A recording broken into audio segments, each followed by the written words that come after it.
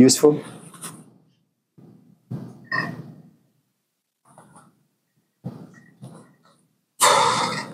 Okay.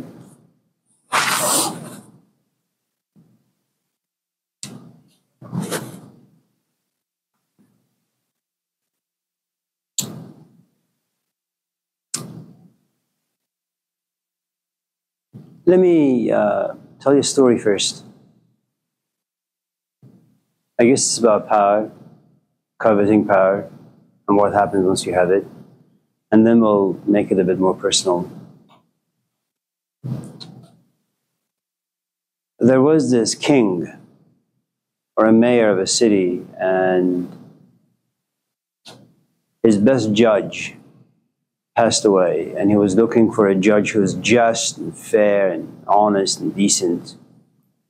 So he sends out word, you know, that I'm going to be sending two of my trusted friends looking for. Hello, Maila.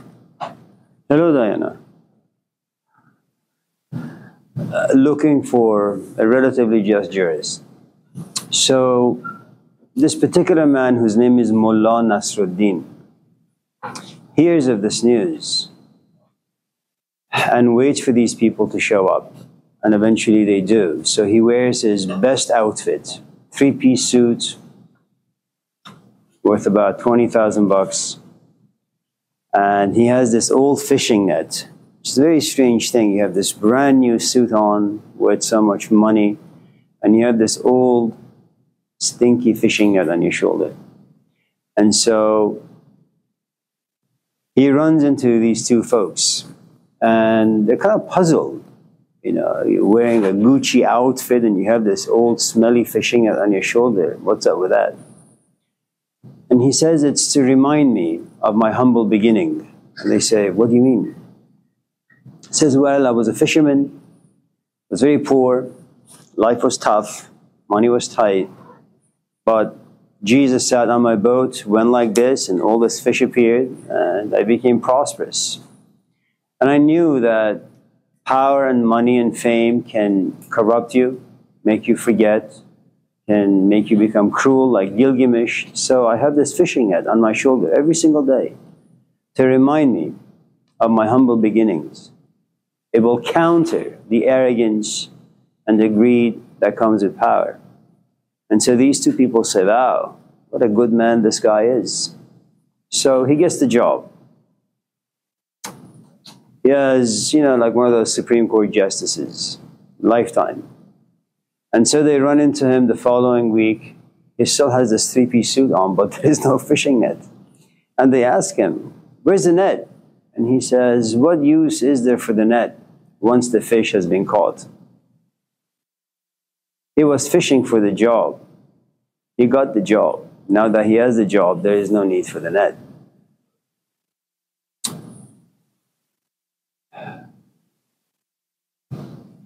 But let me do this differently.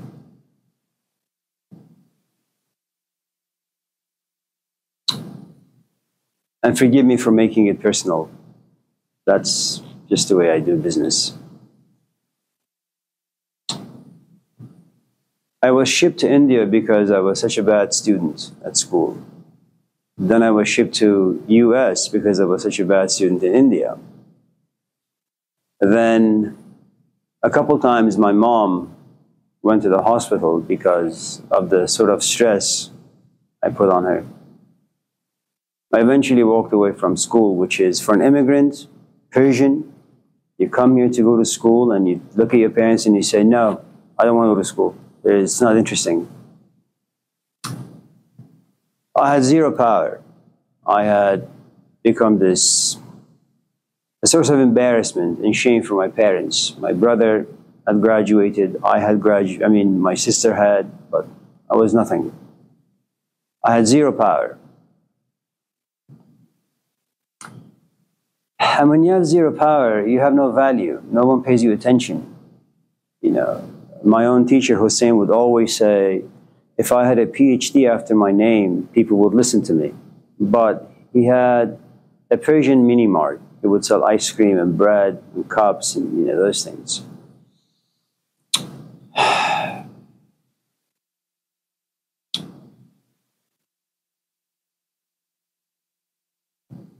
And then, of course, I found my passion, which was philosophy. And for the first time, I went to school, took it seriously, took my passion for philosophy seriously, not the classes I was taking. And then because Persians, you know, enjoy conversations about politics and religion, at once a very poor, ignorant kid had now read some books. Now, in every conversation, I would participate. And Hussein had commanded that I memorize the entire four Gospels. And so when I went to the shop, he would say, like, Mark 4 5. And I had to just tell it to him by memory. And so when we had gatherings and people would start talking about religion, I would just quote, you know, and people would, wow, what is that? And I was a kid. And then this shy, reserved kid became no longer shy and profoundly arrogant. And eventually, this kid got a job teaching or being in a classroom. Now, the truth is, no one in this class can compete with me. I mean, I've spent my entire life since I was 11 reading, you know, and the past maybe 35, 45, 40 years of my life thinking about things.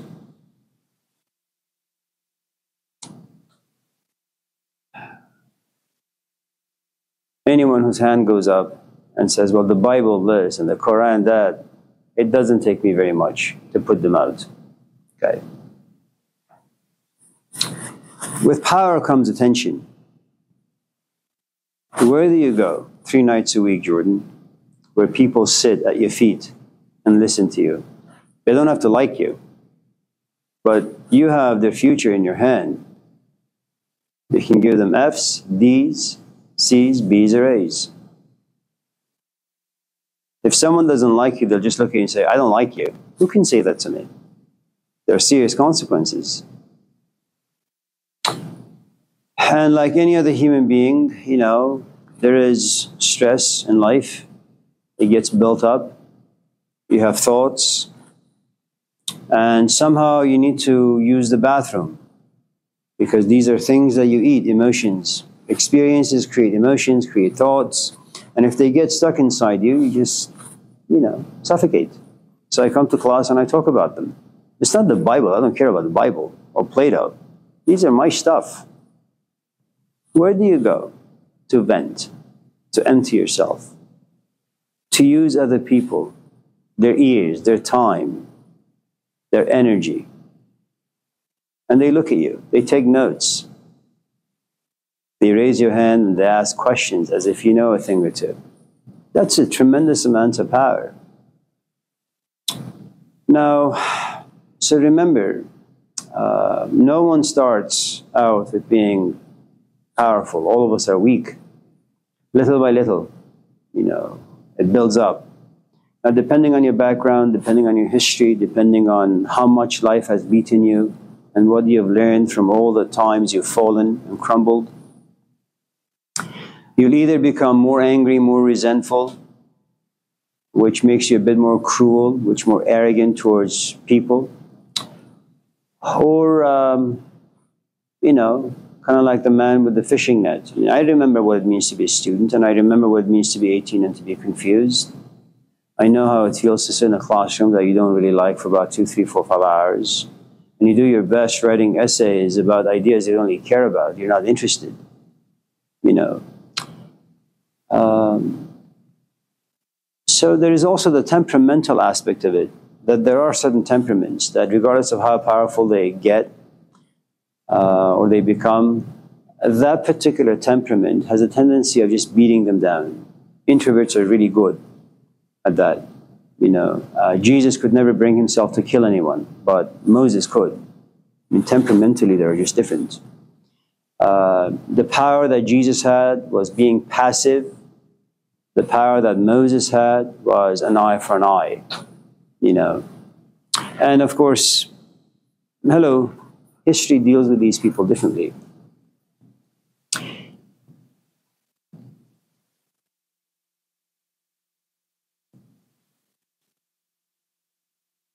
So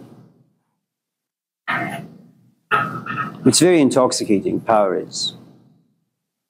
Especially if power comes with a bit of charisma and magnetism, then uh,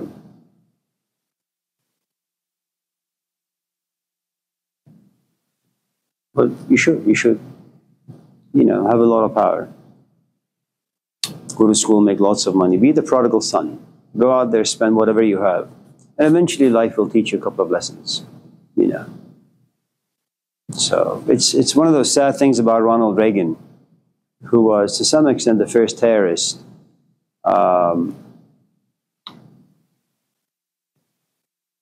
you know, you would think that when Reagan eventually walked away from the presidency and he got a little older, that it happens to all of us. You know, as you age and as you get older and sicker and you're closer to death, you kind of sit back and reflect on all the things you have done.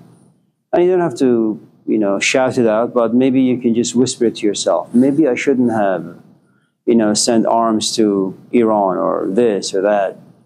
But luckily for him, and I suppose tragic for us, hello, is that he suffered from Alzheimer's. He just forgot.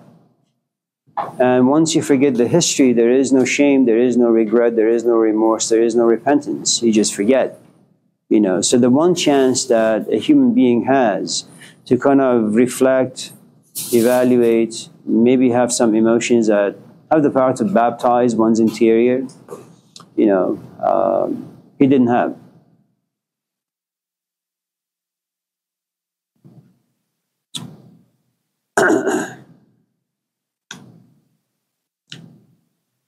I don't know if I've answered your question the right way, but that's the best I can do.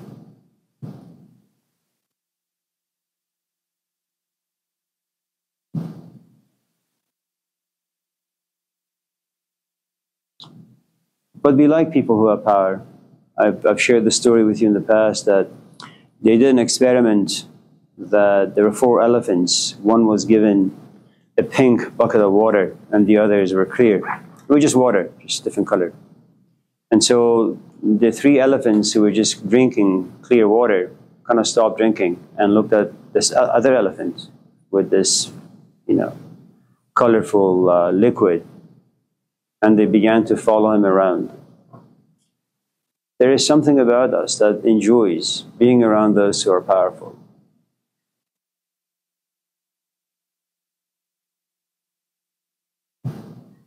And when it comes to people like Malcolm or Gandhi or Jesus Christ or the Buddha, it's a very strange thing. Because the sort of philosophy that they express is quite dark. You know, there is, there is nothing uplifting about the teachings of Jesus. It's really quite sad. Because he doesn't value anything down here. No marriage, no kids, no money, no cars, no houses, nothing. This place is the, you know, a place where things just rush grow old and just die. You know. And yet there is something very powerful about him and the message that despite the fact that he weakens us through his philosophy, he also empowers us by kind of you know, pushing some clarity into our thick skulls. So power comes in a variety of different ways.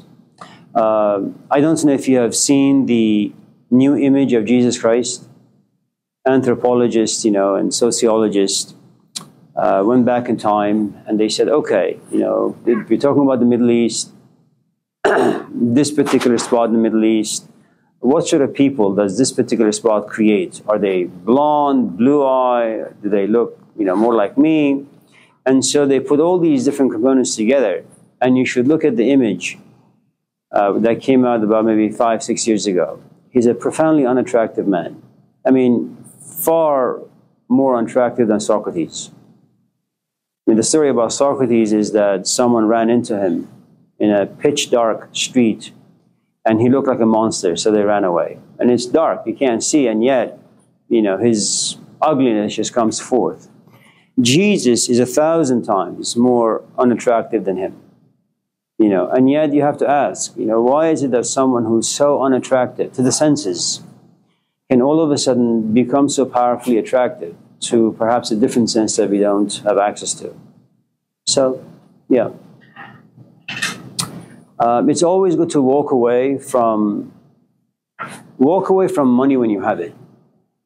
You know, don't don't be like uh, the fox and the sour grape story by Aesop. For those of you who may not know the story, it's about this fox who loves grapes, loves grapes. So by chance, he's walking to a tattoo shop um, and sees all these grapes, but there is a fence, you know. So he puts his hand in there and he tries for the next like two, three, four, five hours, but um, he can't. And eventually, frustration comes about, and he says, "Ah, the grapes are probably too sour." You know, it was my fate not to reach them, not to grab them, not to eat them. So some people try to get some power. Eventually, they realize they can't. You know, they're not qualified. It's whatever the case may be, and so they just chalk it up to, to the fates. Maybe the gods just don't want me to be rich, and so from that point on, they condemn anyone who has money. It's always best to have lots of money, like Moses, and then walk away from it. Those are the best kind of people you can run into. Yeah. That's why the Buddha is so good. Not Jesus, Buddha, or Moses. You know, not even Moses. Good. Anyone else? Yeah, yeah, Nina. What do you think is innate about attractiveness? I'm sorry? What do you think is innate about attractiveness? Like, it's changed so much. Um, like, beauty standard has changed so much throughout time. I'm just wondering what has stayed when you look at um, sculpture, going back all the way to ancient Egypt and how it progressed, and it reached its zenith, its golden age um, in the Greek era. So what you have in the ancient Greek, ancient Egypt is that you have this like stick with two arms and two legs and a funny looking face. And there is nothing really attractive about it, but it's a piece of art. And should you find it, it'll fetch you millions. But there was something very interesting about the Greeks, which was, for some strange reason, they were looking and searching for perfection. Not perfection up there, but perfection down here. They were very secular, very physical. And so the temples they built, uh, some of the structures that they had built, uh, philosophies that they generated, and ultimately the sort of sculpture. And the best known uh, statue that they have is Boy Christos. And you should compare Egypt and Greece, and you'll find that this particular character, when it came to the Greek world, face is chiseled. You know, you have a beautiful jaw, you have high cheekbones, then you have biceps and thighs that are beautiful. Then you have six pack. And uh, just the way he's standing, you know. And so beauty, at least in terms of sculpture, has evolved. You know. Now in terms of human characters, you know, what you and I worship, our heroes, that also depends on the culture from which you come. Um, since many parts of Africa suffered hardship. What for them perhaps is the embodiment of perfection and beauty and attractiveness is Nelson Mandela or Bishop Tutu. Okay. Now, when you come to America, which is a land of privilege, you know, uh, and to some extent being young, our heroes have changed, you know, from say, some of the heroes that this culture has created to Kanye West, even though he's gone a little crazy, uh, Taylor Swift, Miley Cyrus, Snoop Dogg. And so, for the most part, the culture creates what people should gravitate towards. Um, unless, again, you happen to be a very reflective human being like a Plato, like a Jordan Peterson, where you don't look so much for the outside, but what people have on the inside or substance. Uh, but regardless, there is something about us, all of us in this class. You may not like Taylor Swift, but when I suppose her image is on the screen, you kind of just become a bit curious. Um, I think if you were to look at, let's just say you're a heterosexual young woman, let's say that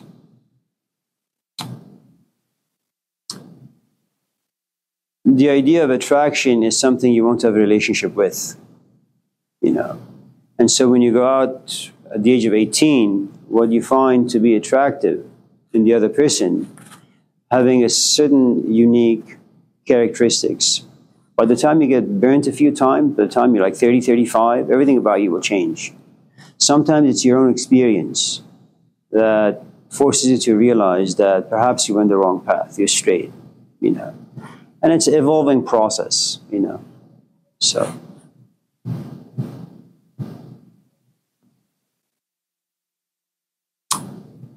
Yeah.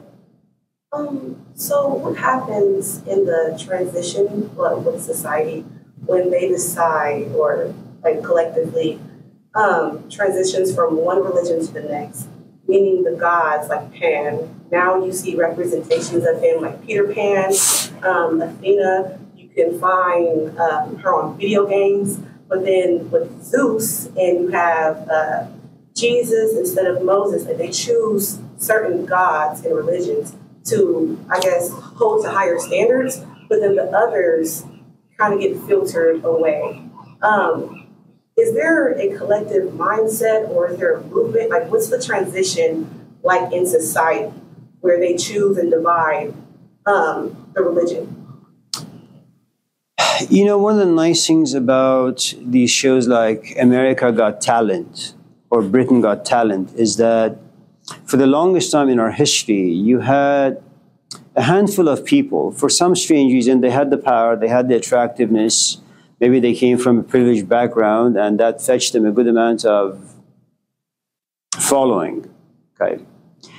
Now, what's happening with these shows is that you have a 10 year old you know, who just comes on the stage. There was this 10 year old Indian, I don't know if you've seen it on America Got Talent. Uh, she had been playing guitar for only about four years. She was uh, taught by her father, and then she did the YouTube clicks to figure out how to play. And it's a mixture of heavy metal and Indian raga. She's amazing. You know, she really, really is amazing. And so what you have is if you look at, for example, the likes of Jesus, he's living at a time where there are two or three other people very much like him. They're magicians like him, they raise the dead like him. But for whatever the reasons are, he is the person who gets all the advertisements. You know, for whatever the reasons are, there is a Paul uh, on his way to somewhere to kill a few Christians has a vision and he has enough power, you know, to make Jesus the main honcho of the scenario. And then you have history. I mean, right now, if you were to look at what's happening in the political world, no one in the past maybe 30, 40, 50 years would dare to say that Hitler was right in any way. Okay. Now, what you have right now is there are lots of upcoming presidents, you know, who kind of have the same rhetoric. You know, they have the same mindset. And what history does, history breaks and history makes. History is nothing but a piece of advertisement. It keeps blasting or blitzing people with a certain set of images. And uh, once the human psyche buys those images, they have the popularity. That's how it is. Um, I mean, consider there came a point, I'm not quite sure what century this was, but it was the Muslims against the Christians, and they were very close at the border of France. They had demolished all the countries and all the cultures. And all the people who had been conquered, they became Muslims. Imagine for a moment if it wasn't raining heavy that particular month and the chariots were not stuck in mud. And if the weather was dry, you know, and the horses and the chariots could very easily, you know, get into the French border. the Western world would not be a Christian world, it would be a Muslim world. You know, um, I'll give you a different example, which is a bit more fleshy, very meaty.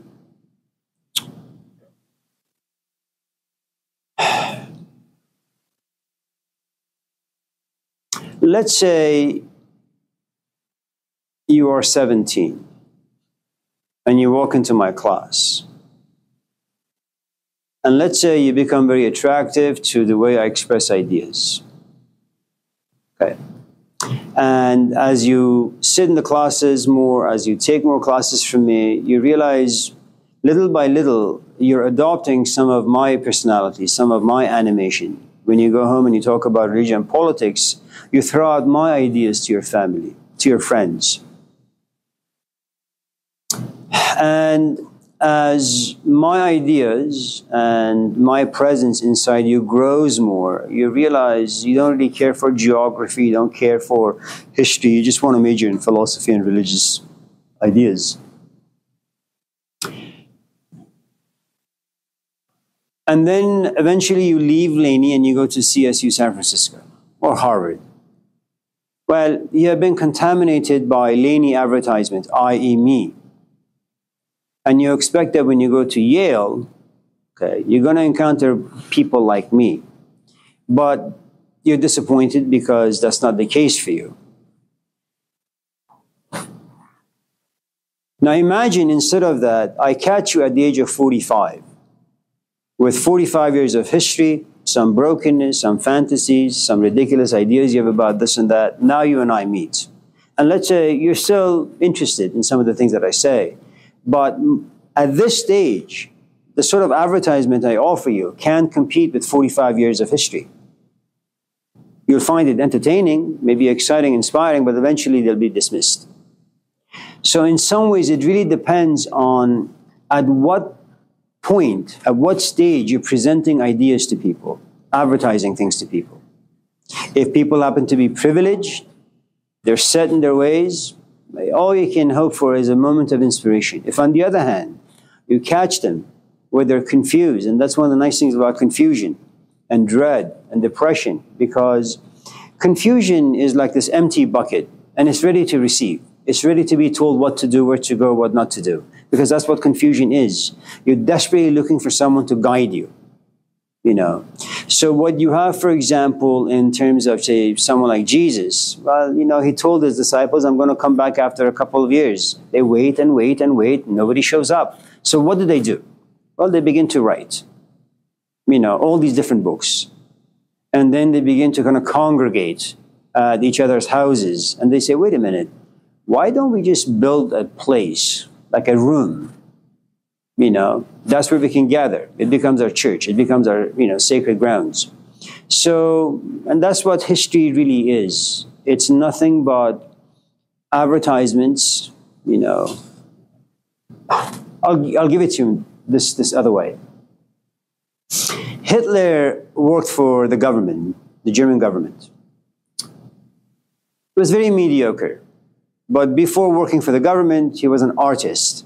And Germany by then was bankrupt. You know, um, it was very poor. It was a complete mess. And so when he told his parents that he wants to be an artist, they spanked him, slapped him.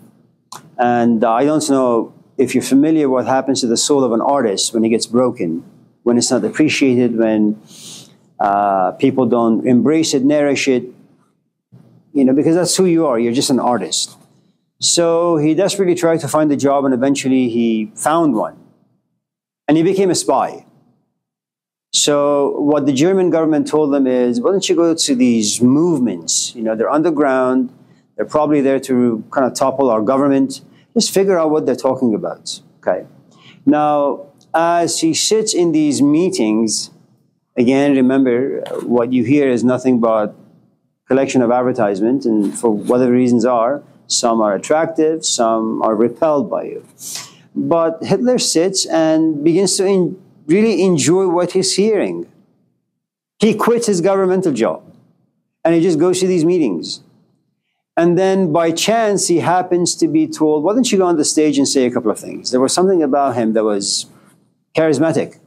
So he goes on the stage and he begins to like scream and shout and be a bit more animated. And he said, This is really, really amazing.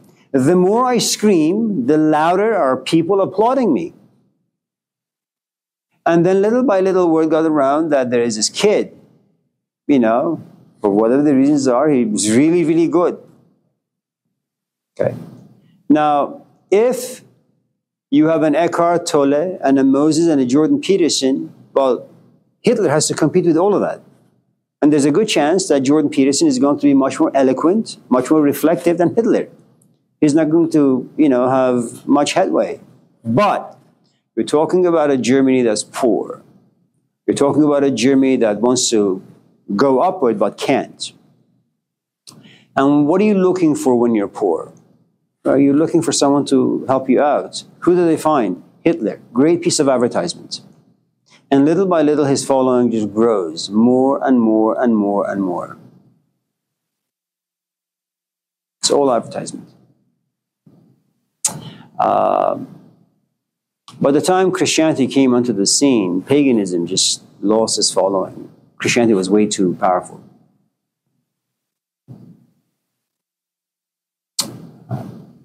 And you know, it, it may be that in a couple thousand years that Jesus will be irrelevant.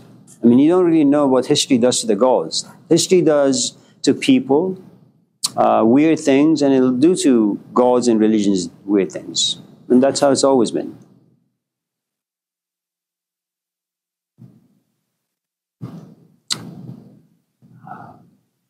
But it's good to get an advertisement when you're really, really young, a good piece of advertisement. You know, uh, if you have parents who can kind of model for you from the age zero to about maybe 10, 15, what a good relationship looks like, you will go into bad relationships. But what you have in mind, I want something that's the carbon copy of my parents. And the higher the standards, the more difficult it's going to be for you to find a model. That's one of the nice things about America. Everything is cheap. So everything goes. And everything is valuable. You know, it's like saying, well, it's my opinion and I have the right to hold that opinion. It's true. In this culture, it's true. In other cultures, not so much. Any I guess, um, why is it so easy for one person to have such a lack of awareness of self that they can be so sensible or of things outside of themselves or others, I guess. Um, like it's easy for somebody to come out of themselves and judge others, but they can't see their own or weaknesses or you know, personal Can you say that question again? Um, I guess it's based around lack of awareness. Why is it so easy for us to have such a great lack of awareness of ourselves?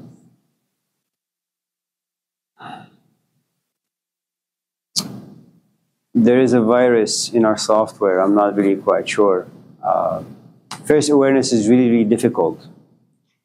Uh, and the reason why it's difficult and painful is because we don't come out uh, or we don't come into life with a toolbox that has all these different tools so that we can combat the difficulties of life. Become blind. And the only way that you can gain some sight is by assumptions. And that's all we have, assumptions, a set of assumptions.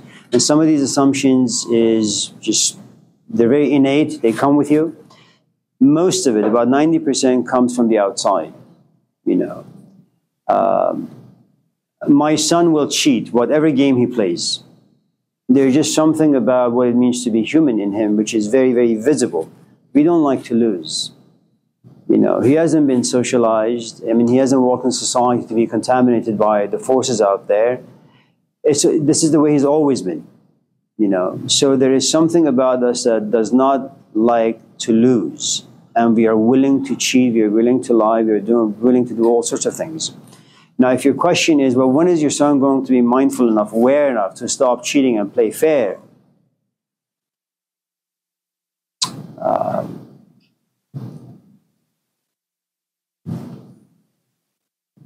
can I tell you a story? On the day that we were shipped to India, I remember uh, this is the 1976, 77. We were on Lufthansa. The plane was empty. It was just my brother and I. He was 10, I was 11. A Couple hours prior to getting on the plane, I remember pushing my sister. She's eight years younger than I am. And she hit the back of her head to the concrete. And then she cried. And I laughed. On the plane, we were just goofing around, running from here to there. And it all of a sudden dawned on me that we're going to a land we've never been. We don't even speak the language. We don't have any relatives there. We don't know anyone. And I'm not going to see my parents for the next two years. And then I remembered my sister. Instead of, you know, the last few minutes, maybe you should embrace her, give her a kiss on the cheek, and say, I'm going to miss you. You just bullied her, and then you laughed. Now, if your question is, well, at what point did I become aware of what I had done to my sister? It's the point that I realized I have no power in my life. My parents aren't there. My sister isn't there. I don't even, I'm going to a land I've never been. Language I don't even speak. Food I don't even like. People I don't even like. And in that poverty, there was a good amount of pain. And then I felt ashamed. And I felt guilty. And I felt sad for what I had done. So you need all sorts of different components to come together for awareness to come forth. You know, uh, we are creatures who, for the most part, are on autopilot 24 7. Once in a while, some event happens in life that you're forced to stop.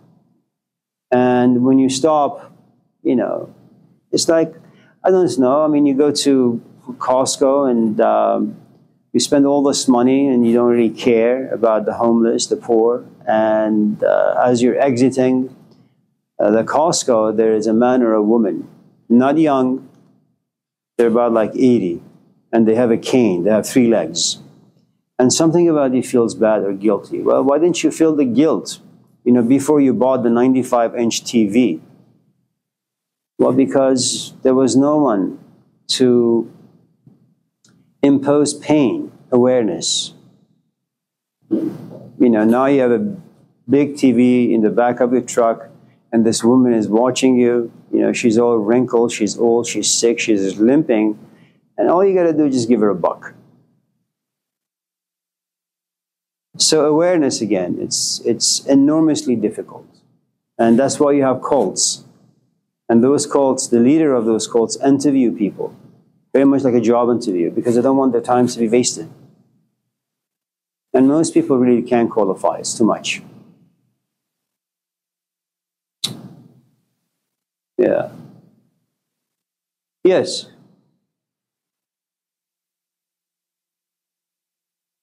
I'm to right now. Again? Anyone else? Confusion? We are creatures after power.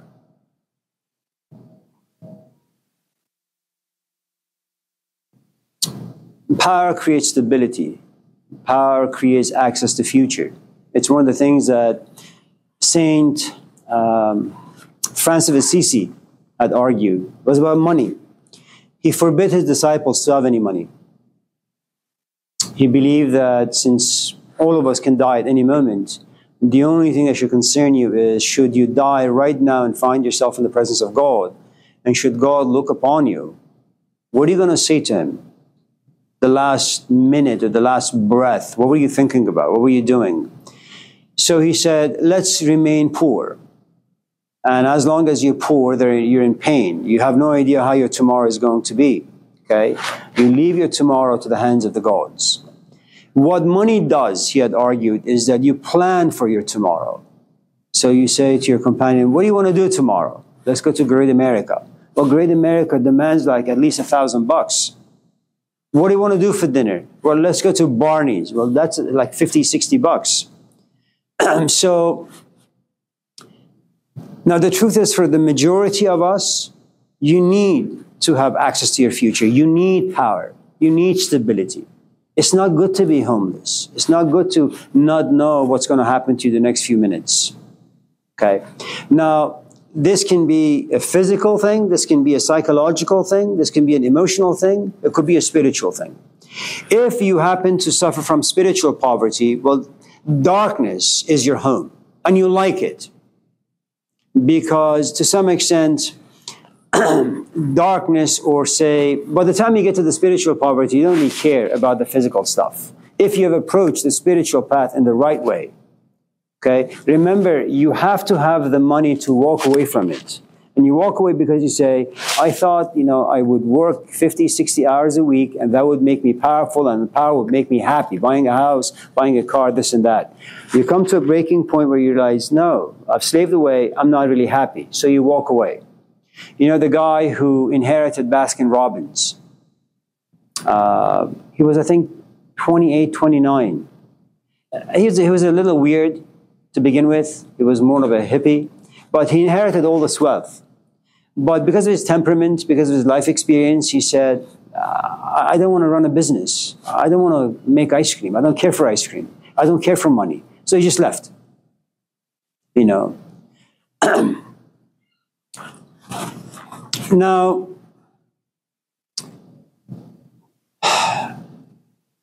sometimes I suppose confusion comes when you are married, when it's your last year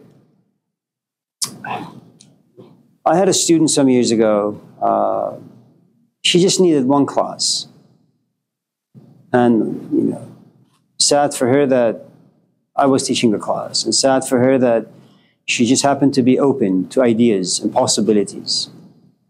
You know, hello, and so I, and so, you know, married, four kids, beautiful life stable. She took the ideas a bit too seriously. Everything fell apart for her. It's not good. Confusion is lack of power. And the more confused you are, the weaker, the more poor you are. Now, the problem with being really, really poor is that people can sell you all sorts of advertisements. I mean, just look at what happened in the 1960s all these ridiculous people coming from the east and the west and the north and the south to America selling them these ridiculous ideas.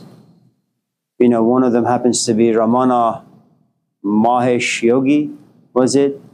The guy who came up with transcendental meditation.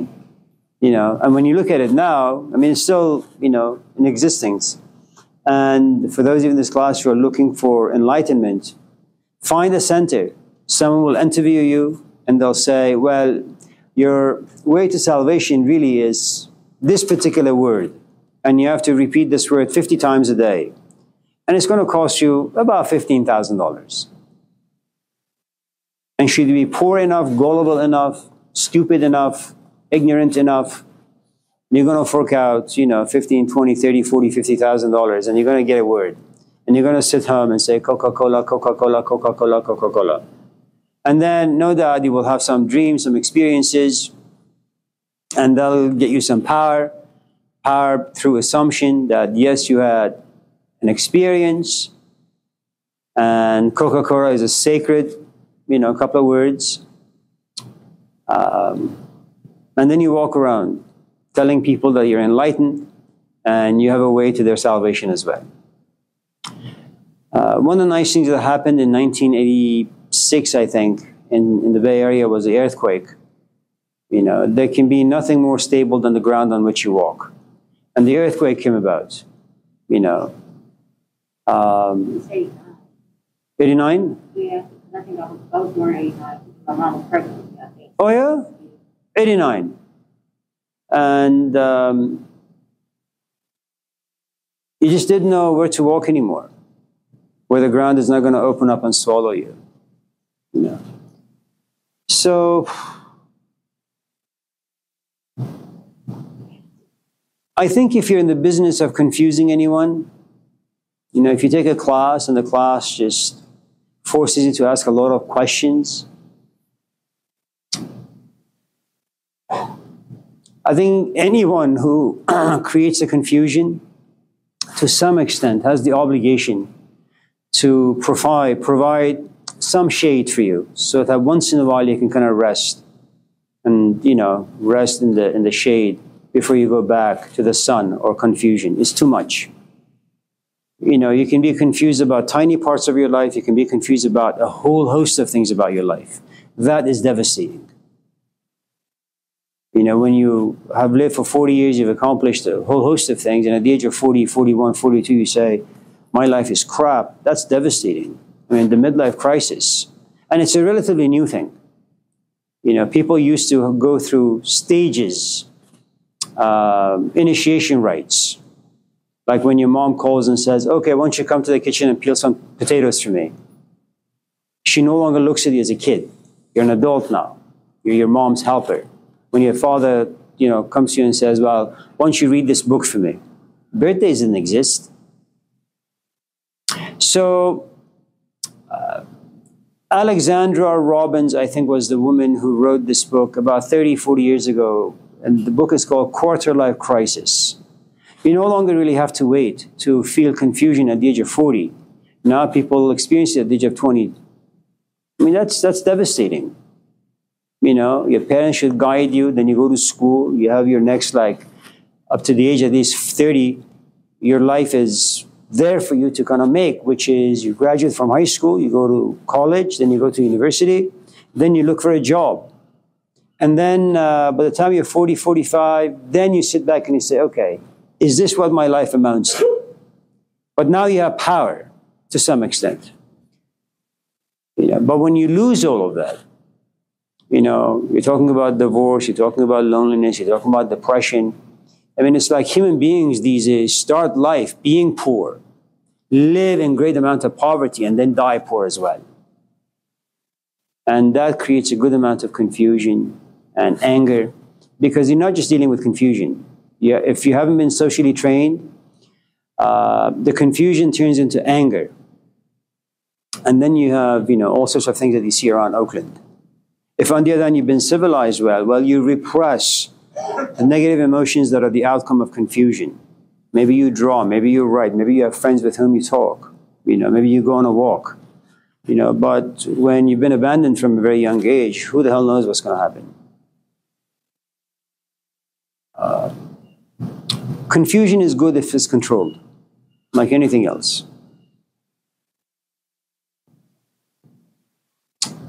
It's like you take your date home, your mom says this is the wrong person for you, and she sits you down, and you are very certain that you love this woman. But with your mom's encouragement, now you begin to doubt a little. You know, now you're stuck. Love, maybe not love.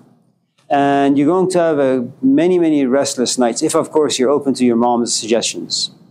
That confusion is really, really good because you can always go back to your mom you can always ask her questions. She can always be a support system.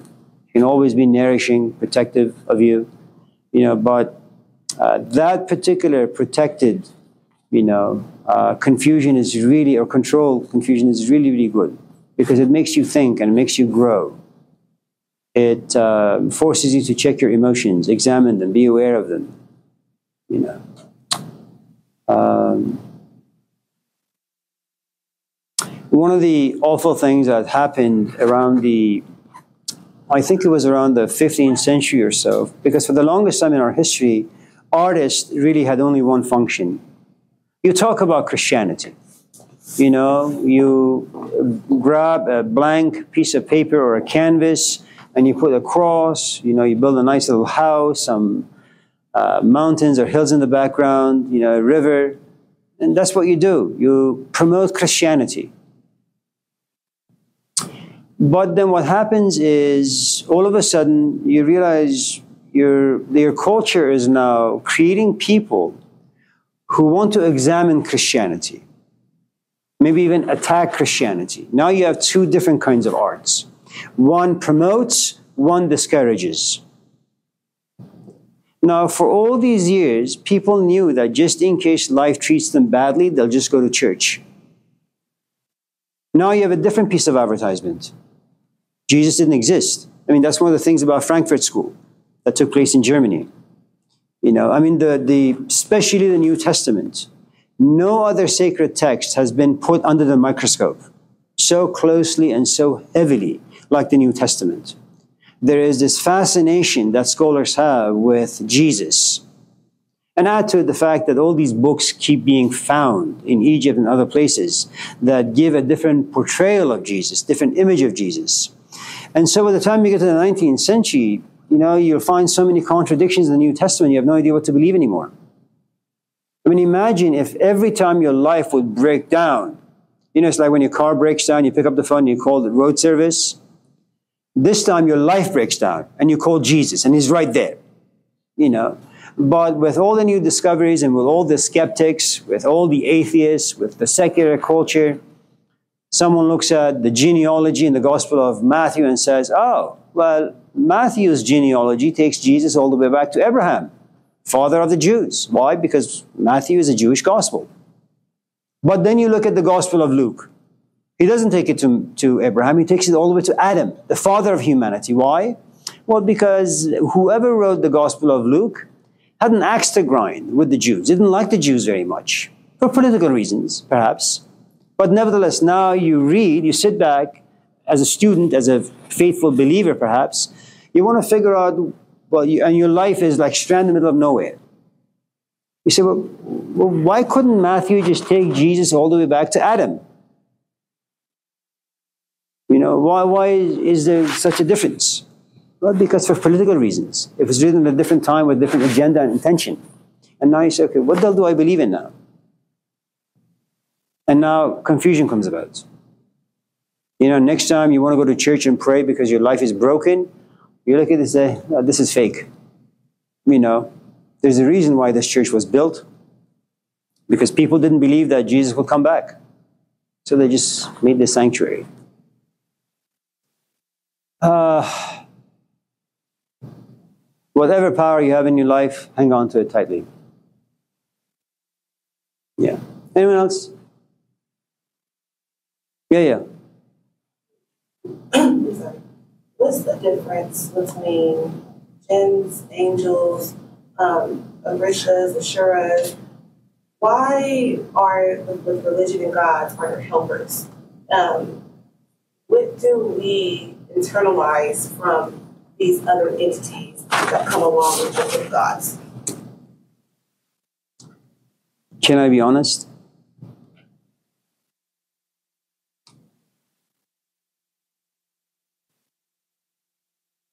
Oh, gum.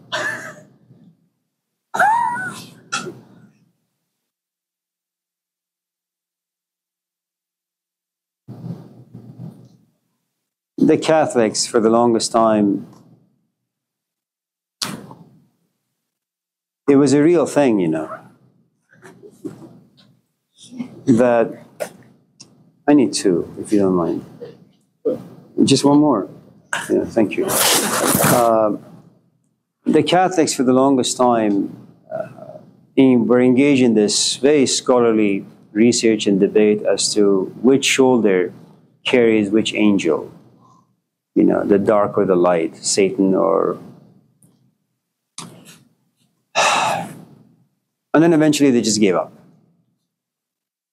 And I guess the point I'm trying to make is once in a while, when we have our own Persian gatherings, there are people who talk about jinn, jinns, you know, ferishte, uh, the ones that are light versus the ones that are filled with fire versus the ones that are filled with darkness. And I sit back and I'm amused, and um, it kind of makes me a little sad because I just don't care for them. Uh,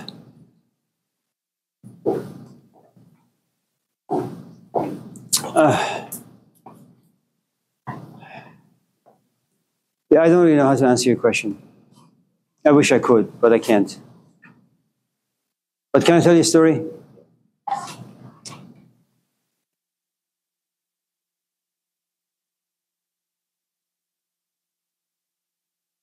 About 40 years ago, we had a guy in one of our gatherings. He was married, two kids, he had this vision or experience that he saw Moses, he saw the burning bush, uh, he saw jinns and all that stuff. And it just disrupted his life to the point that he divorced and he just stopped seeing his kids. And then we were sitting at the gathering and he was just talking about all this gibberish. It was good for him, bad for the rest of us.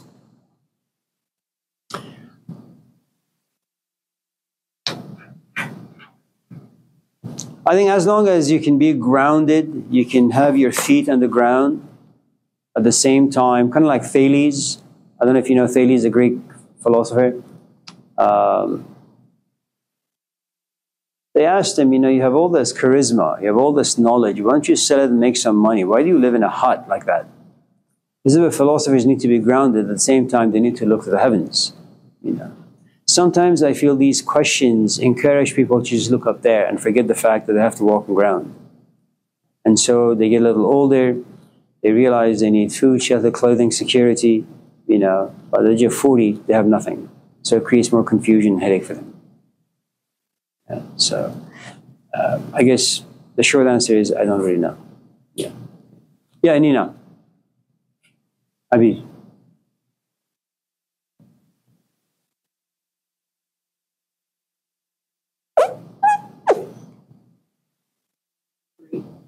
What? I Say breathe.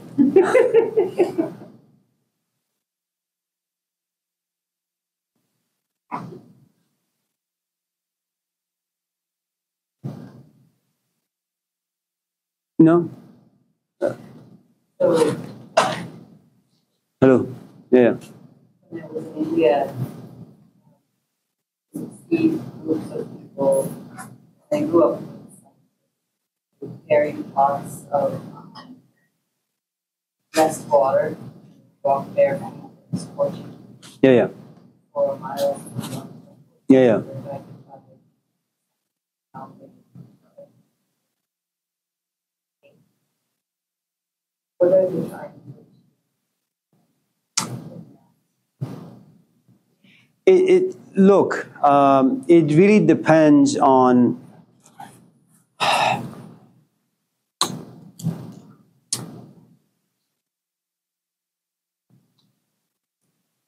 Can I do this in a different way?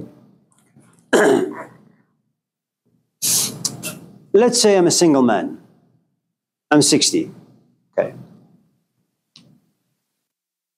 Do I like to be alone? No. Do I like loneliness? No. Do I like depression? It depends what kind, but generally no. Do I like confusion that removes power from me and plunges me into this dark hole? Probably not, especially if I'm not being creative. Now imagine I go to some coffee shop and a young woman comes and sits next to me and says, Oh, I'm very attracted to you. And she happens to be like 25. Okay. Now there's a tremendous amount of power there that a 25 year old is attracted to a 60, almost a dead guy. Okay. She's showing a lot of skin. Okay. I know how jealousy works. I know how possessiveness works. I know how security and relationships work. And at my age, I'm not interested in those things. I'm not interested in chasing after someone, protecting what my relationship is all about, which is um, with a 25 year old and she's showing it to everybody. Okay. I guess the point I'm trying to make is the following it's not so much the teacher, it's what the student is looking for. Some are looking for magic tricks. They can read the Gospel of John. In that, there are no teachings, there is no single story, not a single story. If you want a guy who's profoundly arrogant, egocentric, Gospel of John. In that book, he talks about himself at least 60 times. He says, I, I this, and I that. I mean, none of us in this class enjoy anyone who talks about themselves so much. And forgive me for being that guy. Okay? None of us do. For whatever the reasons are, it just leaves a very bad taste in our mouths. Why the hell does he talk about himself all the time? Really, you're not that great. Shut up. Okay? Now, some people want to sell Jesus Christ And so all they do is just talk about the Gospel of John. That's what they're looking for. Some people are looking for a more humble version of Christ, a Christ that has tasted doubts, a Christ that has tasted abandonment. So they look at the Gospel of Mark. They can taste a bit of humility in it. There's a guy with all the good intentions, he gets whipped left and right. You know, on the cross, he feels abandoned. Now, India is a funny land. It's a bit ridiculous, you know. Uh, it's filled with theory, all theory, you know. And uh, for some strange reason, you know, it's, it's uh, something of value to be able to sleep on a bed of nails for hours or stand there like a statue where your disciples carry you to the pool of water and wash you because your body can no longer move.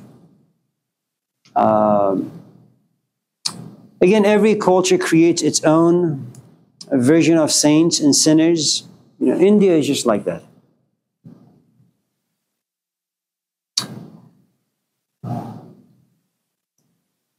If, on the other hand, you're no longer engaged in the bling of the spiritual world, you know, you're looking for substance, you're looking for understanding, clarity, you want to really understand. You know, I mean, the Buddha was around people who were doing magic tricks. He didn't care for those things. Some of it is temperamental, some of it just you as a student are just curious beyond, and you're beyond those things. You really want to understand what the hell is going on. You know, that's one of the nice things about Sigmund Freud. He really wanted to understand. Um, I'll give you an example. So there is this, what's his name? He, he goes by Pragg.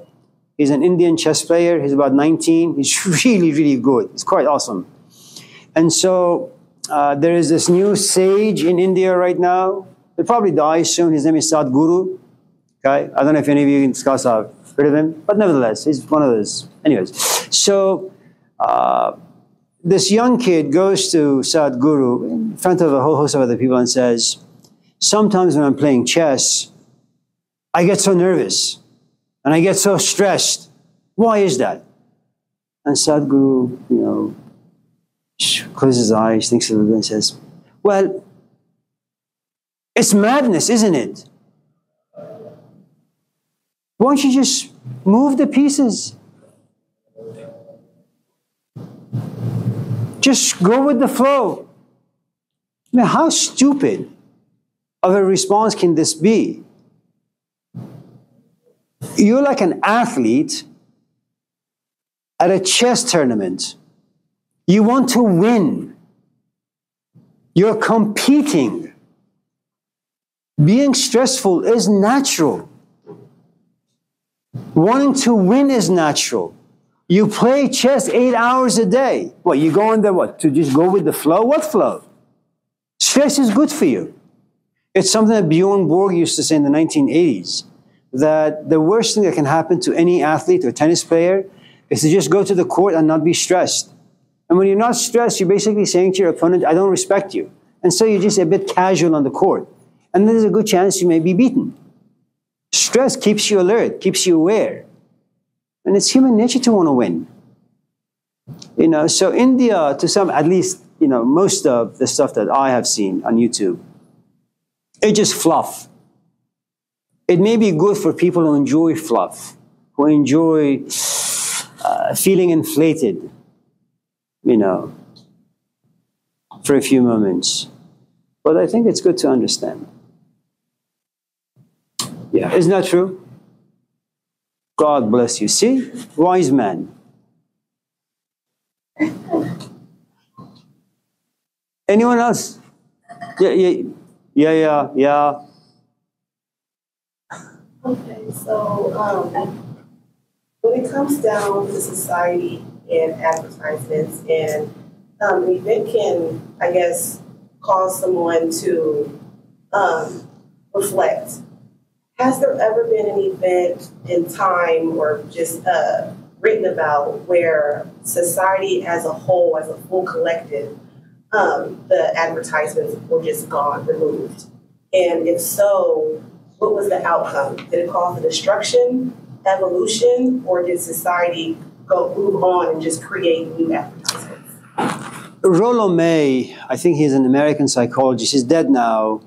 Um, I think he was a mild student of Sigmund Freud, or at least he enjoyed his ideas. He wrote a book some years ago. It's called The Cry for Myth.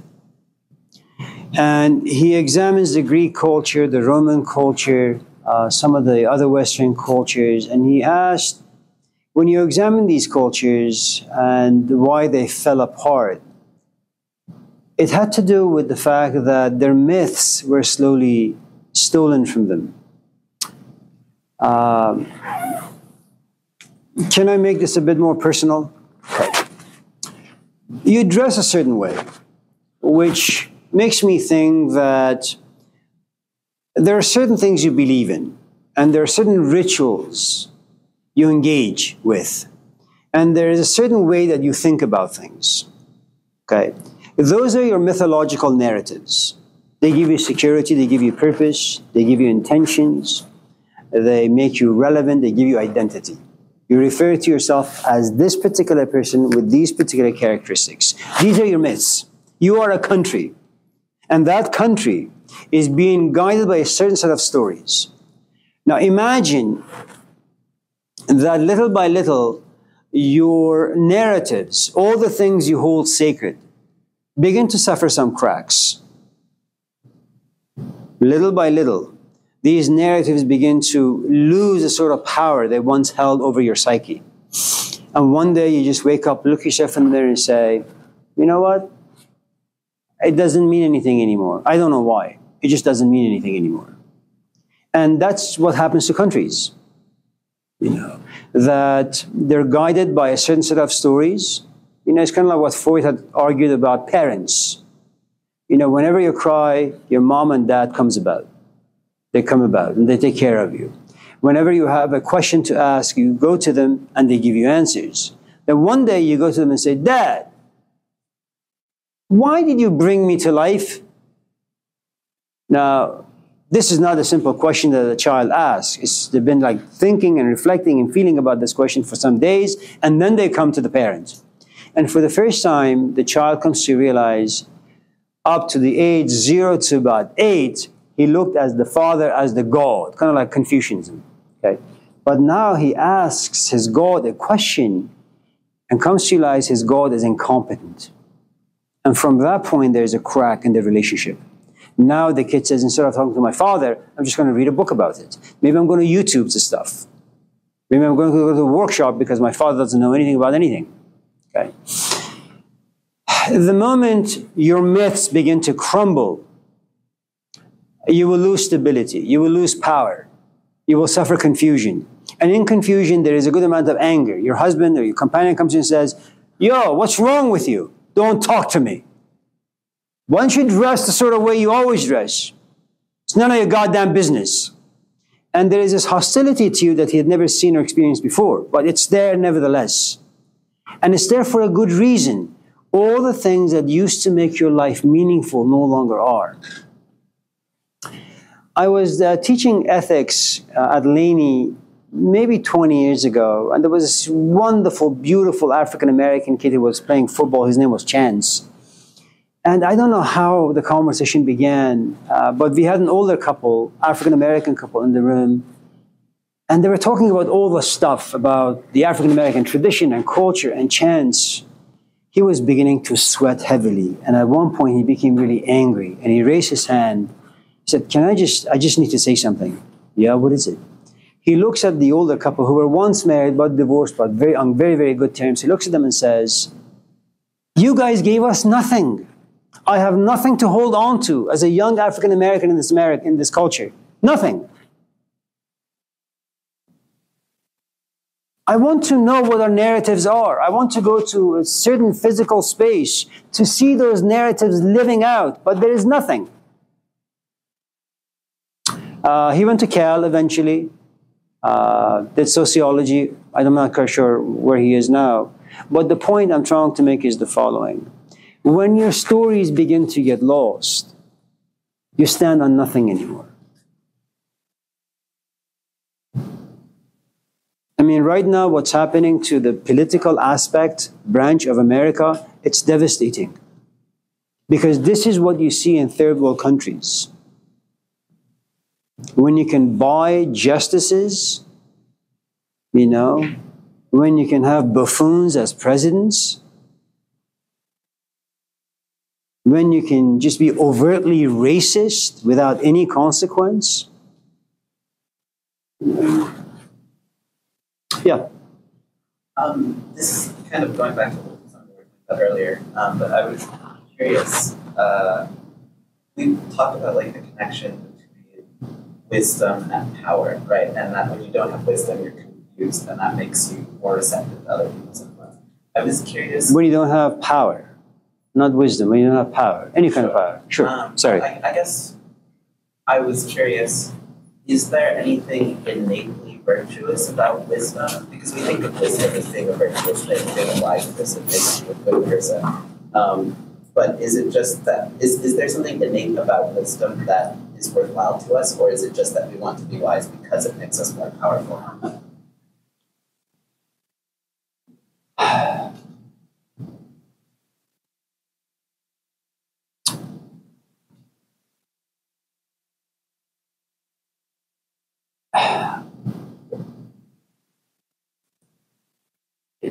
Can I just put this in a very simple way? And it may not, you know, be the best reply to your question. Your question is really, really good.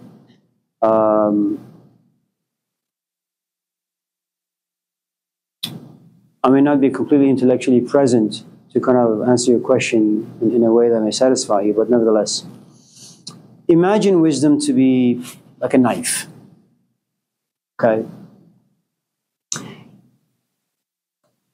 It depends who's holding the knife. It depends to whom you're giving the knife. Okay? Now, if you have a companion and you love your companion, it would be wrong of me to tell you, Johan, what is love? Tell me what love is. Now, the truth is, at the age of 18 or 19, however you know, old you are, it'd be cruel for me to ask you that question. First, because you don't have the maturity, you don't have the life experience, you don't have the care and the passion to go on this long quest that usually takes about 30, 40 years to figure out what wisdom is. Okay? And then, even when you find it, it's going to be mostly theoretical. And then when you apply it, you may realize how dangerous it really, really is. Okay? Now, someone like Socrates, who we claim to be wise, would go around, ask people about love, and then people would feel insufficient. And then they would probably go home, ask their wives or husbands, to come to realize, well, their wives and husbands can't really respond to that question, and then the, the relationship would fall apart.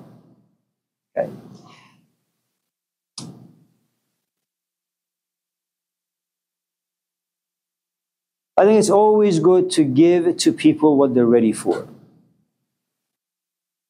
But to know that, you have to spend some time with people. I can't just come to you and say, well, once you examine love, go home and thoroughly talk about it with your companion. If, on the other hand, you had some relationship issues and you came to my office and you said, Amir, you know, I've been going through this issue for the past like five, six years with my companion. How do I deal with it? Then I said, well, do you want to stay with her? Do you want to leave her? What the hell do you want? You know, and that would be a different story. Um, if you read the Gospel of Mark, it's very, very interesting because Jesus does not go out and sell wisdom to anybody out there. He reserves the meat for his own students, his own cult. When he goes out, he tells people stories. You know. Um, the other thing, I think, the concept of wisdom has changed over the years. You know, you would cherish the wisdom of your parents, you would cherish the wisdom of your grandparents, the wisdom of that was just inherently in the culture itself. Then, when you were completely dissatisfied with the whole thing and you realize that your life is just wasting away, you're looking, yearning, longing for something that can be seen or touched or tasted or heard. Then you go to, I don't know, you knock, begin to look for doors and knock on them until wisdom shows her face to you, you know. But we, were, we used to be very, very grounded. It's only been in the past maybe 50 years where people are looking for all these ridiculous things. They go to India, they go to Tibet, you know, because they think that there is wisdom out there somewhere to be found. Um, like anything else, there is a positive and negative. Um, it can be beneficial, it could also be dangerous.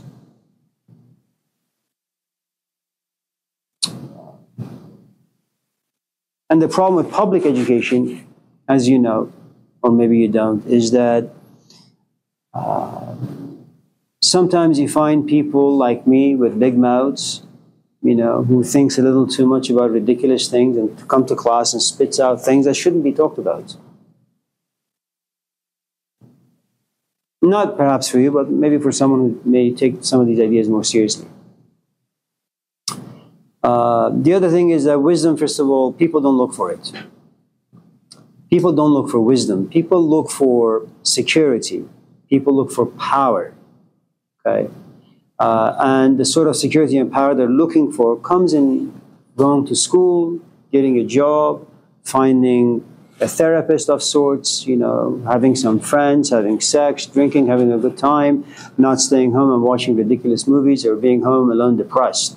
That's the sort of power that people are looking for. And to overcome those diseases, well, you need secular power. You need knowledge of the physical world. You need knowledge of your physical body.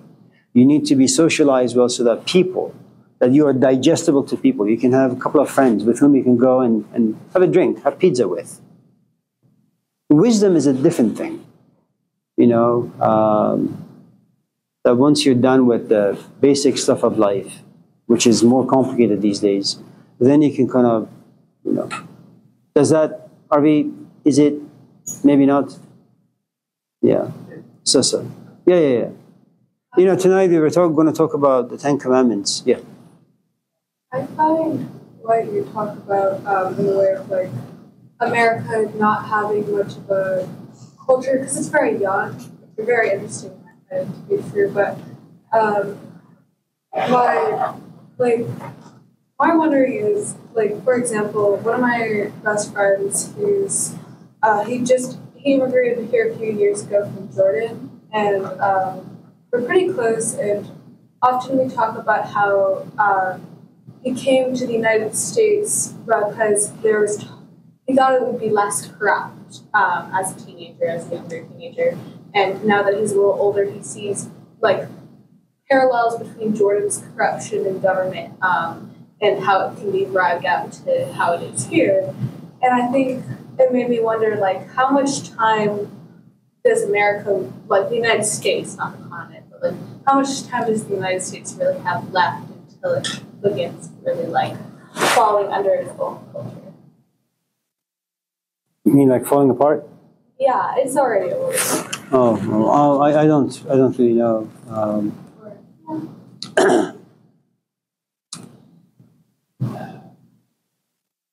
I don't know. Uh, but falling apart is really good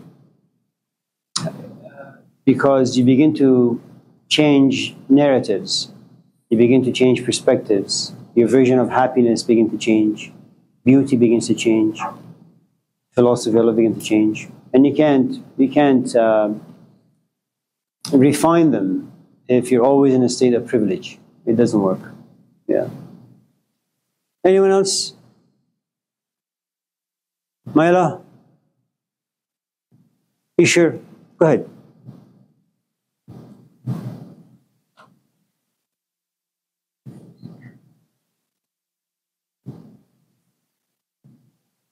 You sure?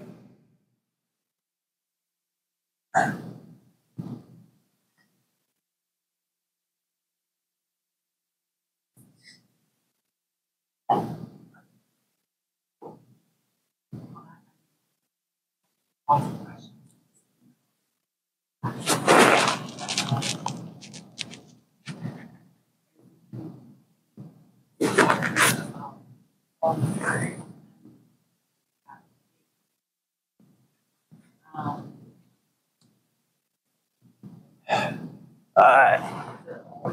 I never say it's a good thing, it's a bad thing.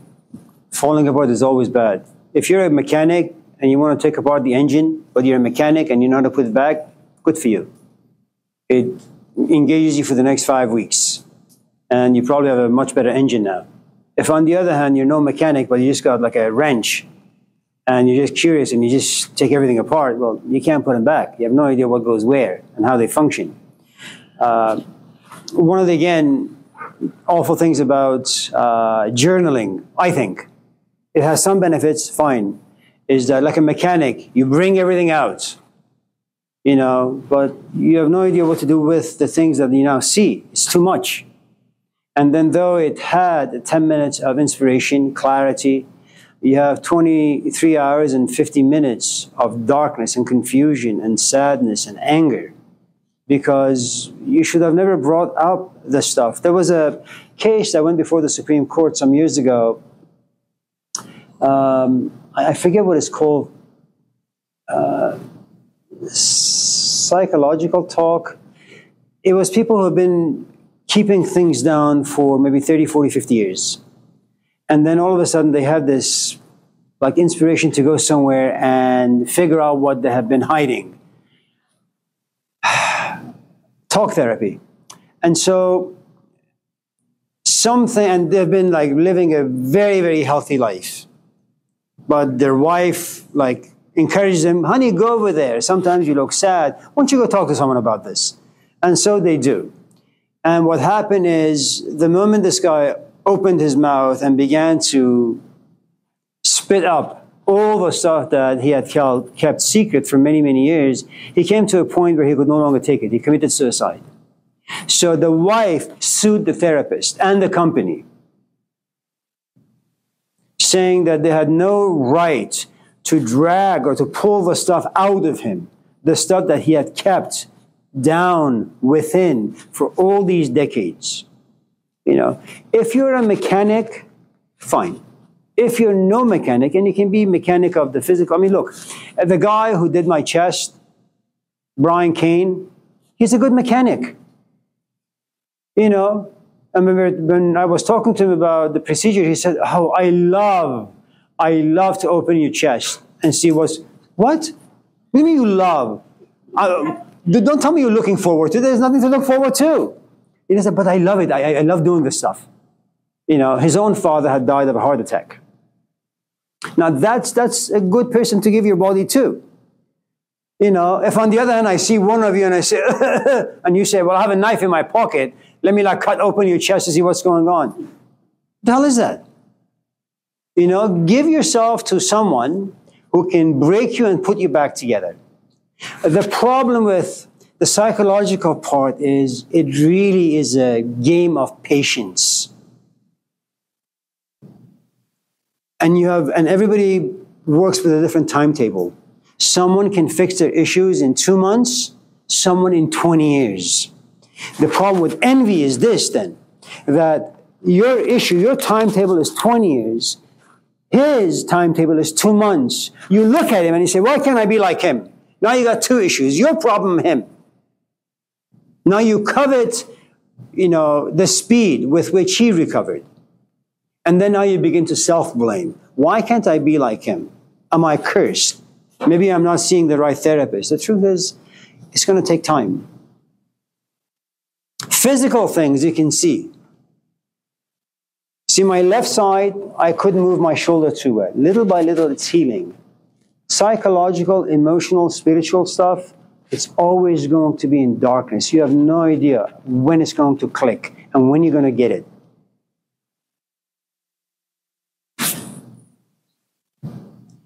And now you may want to exercise patience. The truth is, patience is, it has a really huge branch that's culturally manufactured, which is you have access to YouTube, you have access to cell phones, you text, everything happens in a nano speed. And now you want something that usually takes about 20 years to be fixed very quickly. Now, once you begin to have psychological habits that things need to get fixed really, really fast, as a culture, people slowly lose the ability to be patient about things that really demand patience. It's like here. I want to get an A in the class. What do I need to do? Nothing. You can't get, I'll give you an A. But it's a fake A. I can make you happy. But don't walk away after getting an A thinking that you're intelligent. You're stupid. And you're going to remain stupid for a long time. You're 18. Nina. Know. Yeah. Yeah, I don't know. I, yeah, please. I was just wondering you thought about voting. Voting?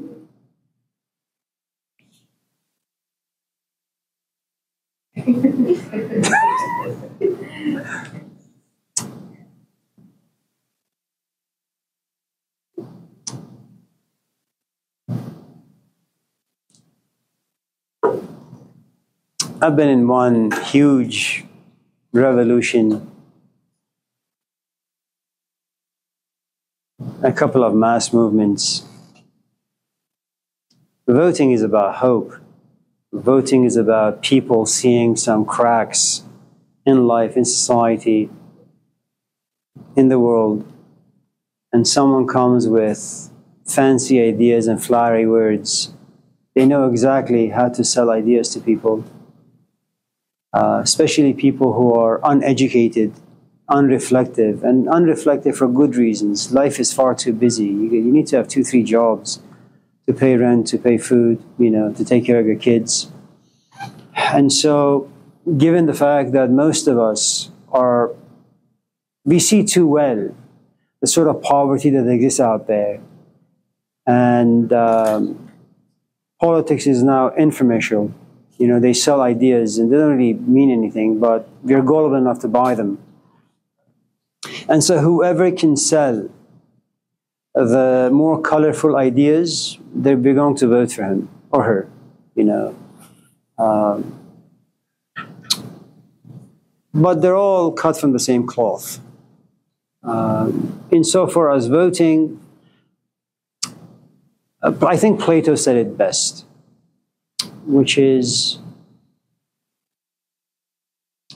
democracy is really, really bad because it's governed by the least qualified. I mean, look at us. Americans are not people who read. This is not a culture where people enjoy reading. This is not a culture where people enjoy thinking and reflecting. You know, I've gone to some gatherings uh, non-Persian gatherings, and people don't sit and talk about politics and religion. It doesn't happen. You know, it's very casual. People drink, they gossip about like ridiculous things, and the party ends. Now, when you go to other gatherings from people, different cultures, you realize the centerpiece is politics because that's where they came from. You know, everything was turned upside down for them. You know, that's their bread and butter. So what you have is about, I don't know, um, 400 million people in this country who have been governed by the illusion that their voice actually matters. And they vote. It gives them the illusion of power, and autonomy, and independence. You can't do much about that. And it's just not America, it's everywhere. Um, the problem also is if you don't vote for the stuff that takes place in Oakland, stuff that takes place in California, you know, you just allow these buffoons to just continue, you know, destroying what little good there is out there.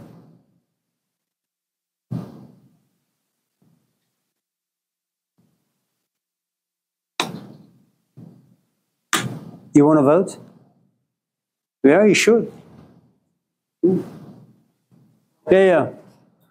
Um, the difference between superheroes um, villains, such as Spider Man and Superman, Batman, and then you have the religious um, figures. when it comes to society, why do why are we so attracted to the unknown, the intangible, um, and why do we internalize it? Why does it look human? Why does it look um, Superman? He has powers. He's able to do all these things. Jesus is able to do all these things, and we see that in mirror, almost like a mirror of something better than ourselves. Where does that come from?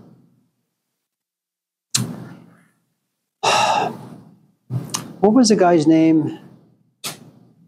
Feuerbach? Schleiermacher? Only Germans with ridiculous names. Um, he said something interesting, and I forget the exact phrasing. Uh,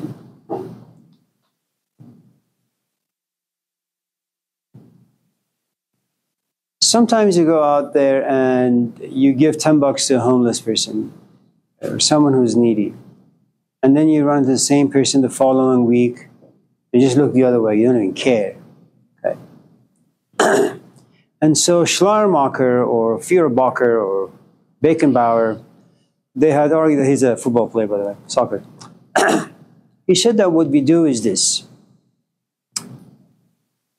All of us in this class long for the permanence of compassion and generosity, but we see ourselves lacking and inconsistent. So, what we do, we take this compassion that comes to me once in a while and we throw it up there. Beauty up there, wisdom up there. And you realize that, well, when you throw these goods up there, someone needs to hold them. And we give that person this name God or a superhero. Superman is never going to shy away from helping someone in need. He is consistent, something that you and I don't have. Okay. Um, it may be because we are desperately looking for consistency and stability, but we can't really generate that. So we have no choice but to create certain fantasies. You know, uh, I don't know why Moses became so popular and so famous and we worship him. I mean, he killed a lot of people. So did Muhammad. At the same time, you know, have pieces of advertisement supporting both the good and the bad. But there is something about us, I think, that desperately desires someone who's more than human.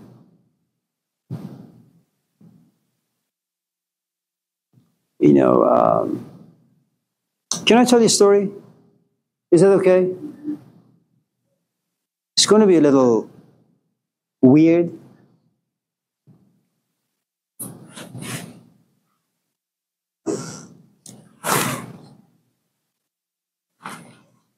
Talia, plug your ears. It's not for you. You guys all know who Rumi is, right?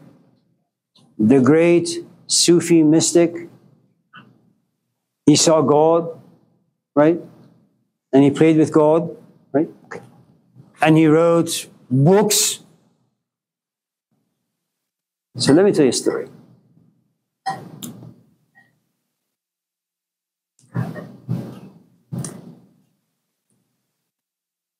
So there's a woman who's sitting on the sofa having some Dijon chips with yogurt.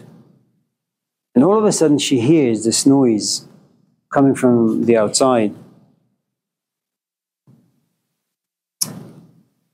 And it's very distracting, you know. It keeps her from watching her movie.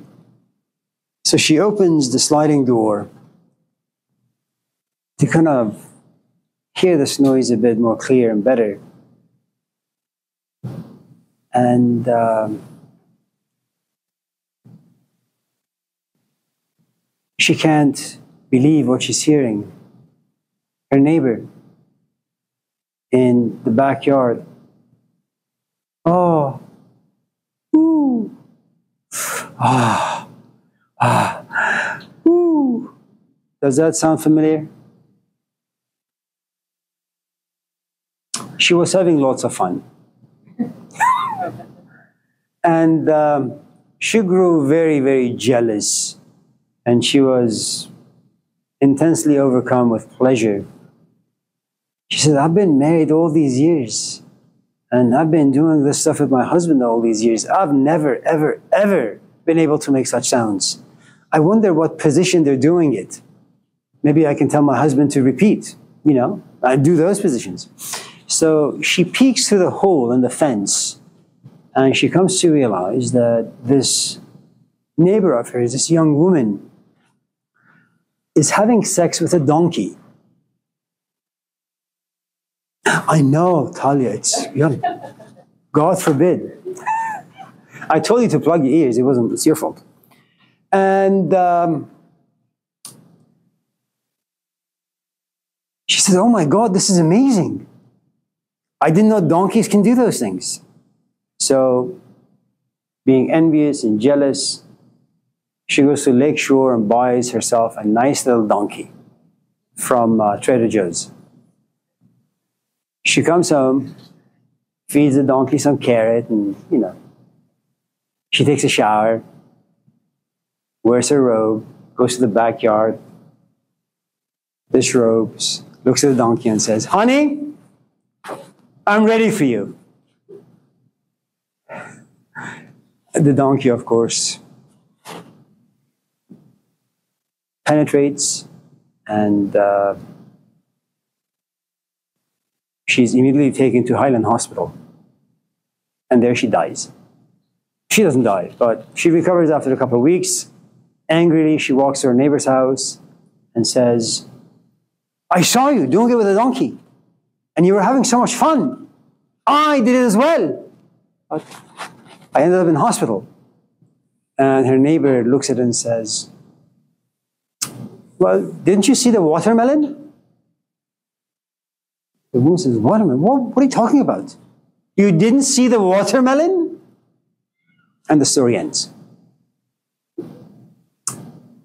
Now, someone who has a certain view, certain perspective, certain position as to how philosophers or mystics should be and should behave, they're going to hear the story and say, Middle Easterners, you know,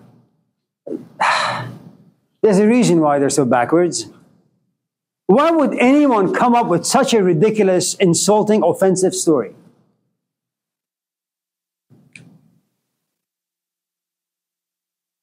Mystics should be like Jesus Christ, like St. Francis of Assisi. You should never talk about sex. Think about sex. Read some of the works of the Christian Desert Fathers.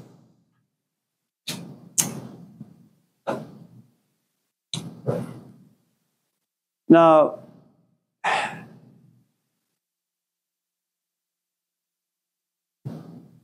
I'm sure this story is connected to a question someone asked. but I forget the question. um, so, if I was to unpack the metaphors and the symbolism, would be the following. And it goes back to your question a little bit about wisdom.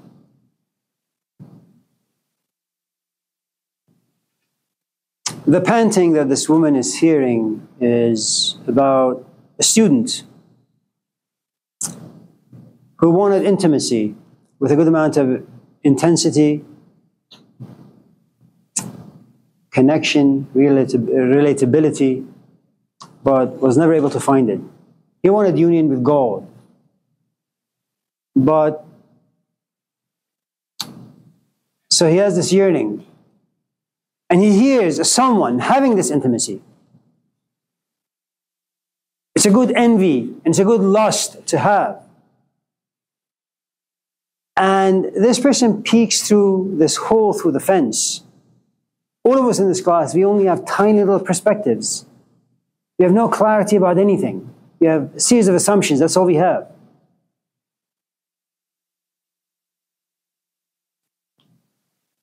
If you have ever seen a donkey's private part, it is huge.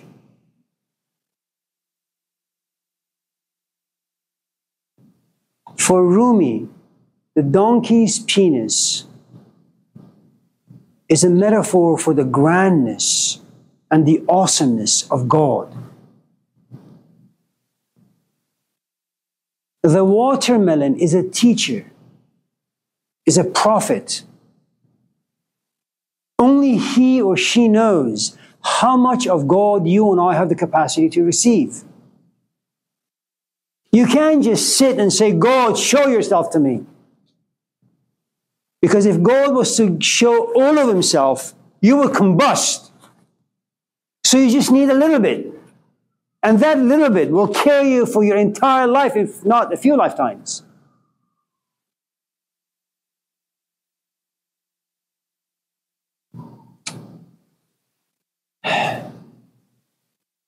You don't hear that story very often in the Persian world. Um, we don't even hear too many people quoting from Book 5, which is a book that has so many images of pornography in it. and yet, he's able to use all those human activities in a way that becomes profoundly divine and poetic. Rumi can do that because he's a superhero, because we don't see him as a human being, because there is a story about him that him and his teacher locked themselves in a room for two months, two weeks. No one knows what happened. Maybe they had sex. Who the hell knows? But the outcome was a changed human being, Rumi was. And so he uses whatever is out there to make the rest of us a bit more aware. Um, anyways, let's move on. Anyone else? Yes, Jordan. So, what about the watermelon? So, the watermelon, the donkey's penis has to go through the watermelon and then to the woman. Okay? Now, if you happen to have a great capacity for wisdom, okay, you get a smaller watermelon and a bigger donkey. If on the other hand you don't have a great capacity, you buy a huge watermelon and then a little donkey. You know, it's kind of like if you have a two year old son who comes to you and says, Dad, what's sex? Well, you have to give a huge watermelon because you say, Well, it's honey, it's like ice cream. Okay. If on the other hand, your son or your daughter is a certain age that could pose some dangerousness, that they can go out there and do something naughty, but then you get a smaller watermelon. You give them a bit more reality. You shouldn't talk to them like adults. We do this all the time. You know. Uh, so yeah. Anyone else? Yeah, yeah. So the woman that to the hospital, Uh, Highland Hospital. Yeah, so that traumatized her just uh, on a metaphorical wise, like when it comes down to the wisdom that she would have had, or did that boost her to where she wasn't supposed to be? There is a book uh, for those of you who are interested. It's called The Invisible Way. Um, there was a guy, there was a first volume to this book, which is called The Last Barrier. It was a Western guy in Turkey looking for antiques, goes into a shop. Uh, it was closing time and uh, just asks an irrelevant question, which is to the owner uh, Do you know anything about the dervishes? Not knowing that he's talking to a teacher. The second volume has a story in it, which is there is a woman, a young woman whose name is Noor. Uh, she hangs out with this teacher. Uh, they never talk about religion or philosophy. But what Reshad Feild, this Westerner, comes to understand later on is that this woman was given a bit too much when she was not ready. And her interior couldn't take it. So psychologically, she broke. You know. Um,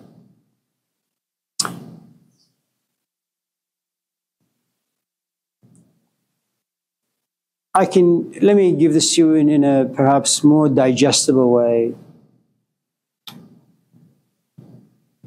Imagine you are 18 and you accidentally run into a 45 year old man, and we're assuming you're hetero and all that.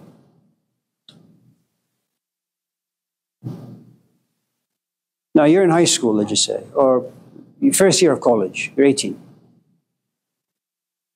And tradition, custom usually is hang out with your own kind. That, well, with 18 year olds, 19 year olds, 20 year olds. And both of you can suffer a good amount of confusion and then heartache, all that.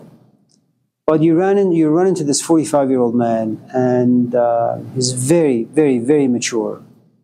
Now, something about women at a, from a very, very young age, perhaps maybe they know, maybe they don't know, but they long for stability because they're a carrier of uh, potential being a mother. Okay, they're like an oven, and they know this from a very, very young age. So they're always looking for someone who could be dependable and stable, like a rock, Peter. Okay. And so you realize that this 45 year old, for whatever the reasons are, even though you're very scared to tell your parents that you're dating a 45 year old, nevertheless, you continue dating and eventually you get married. A beautiful man. A year after the, into the marriage, he dies. He gets ran over by an 18 wheeler or 18 wheeler, yeah, truck, yeah, yeah, yeah, an ugly looking truck. You feel sad. And after you have overcome your grief, you say, all right, I'm young, I'm only 19, 19, maybe 20. I should go out there and like find myself a date. The problem that you have is you didn't go out with a loser. You went out with someone who's profoundly mature. At the age of 19, you have a standard that's up here. All the people your own age or close to your own age, their standards are even below you. Okay? And so there's a good chance that you will never find a man like the one you had. So you only have to find a way to be okay with someone who's lesser and just tolerate him. What you have in this woman, this young woman in the book, or anyone who's given too much at the wrong time, is that you can break them to the point of no return. So you have to be very, very careful, and wisdom can do that. You know, once you begin to question, I mean, seriously question love, there's a good chance you will become paralyzed for the rest of your life. Because you're looking for this ideal that can't be found down here. Anyone else? You sure? What time is it? Maybe I can just finish up the Ten Commandments right now. Really? Okay. Any other questions? Yes, Johan. Um, I'm curious what you think about the Ten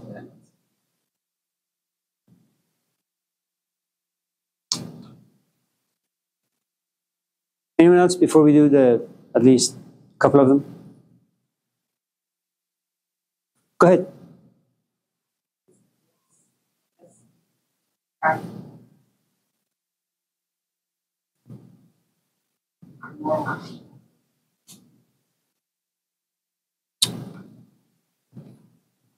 Uh, what's practical?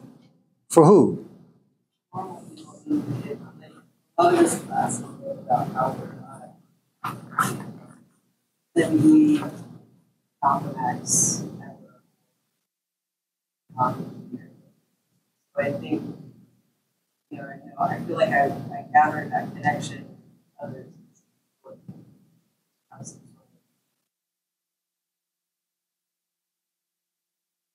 Support, are there other things that are practical? I used to have a lot of athletes, football players in my classes uh, from Laney because everybody would assume that they're gonna like get picked by, you know, a team. Uh, only a couple were maybe five or six. The rest, I have no idea, you know, what happened to them.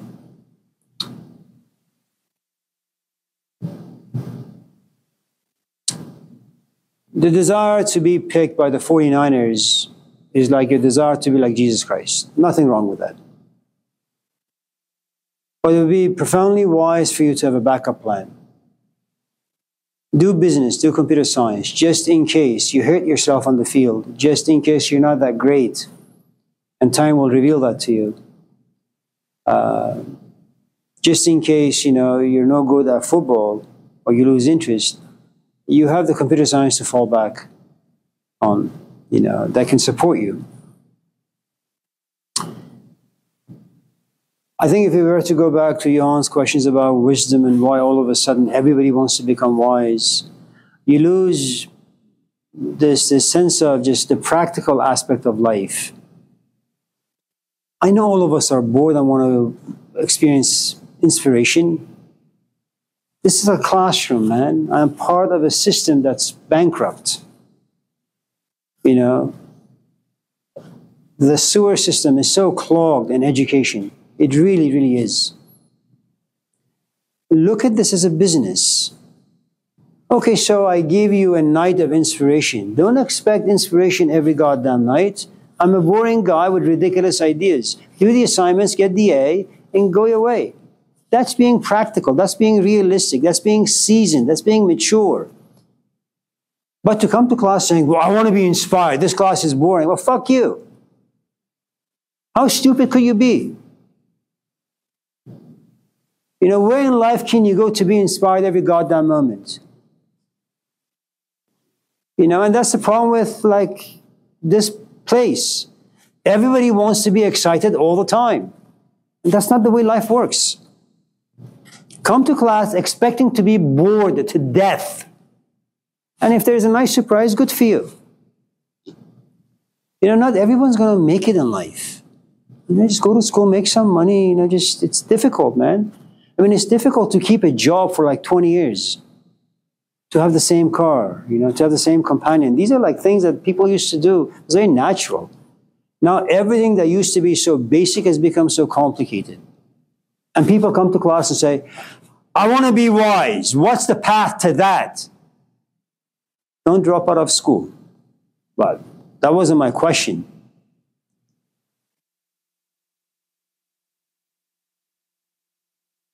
I know I'm boring, at least pretend that you like me a little bit.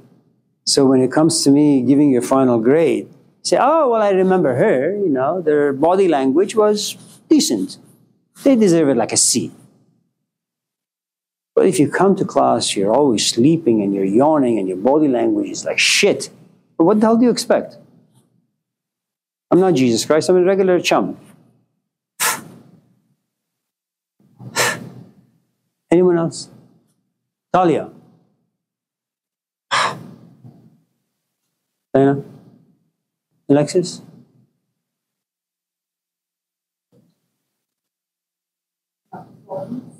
The what?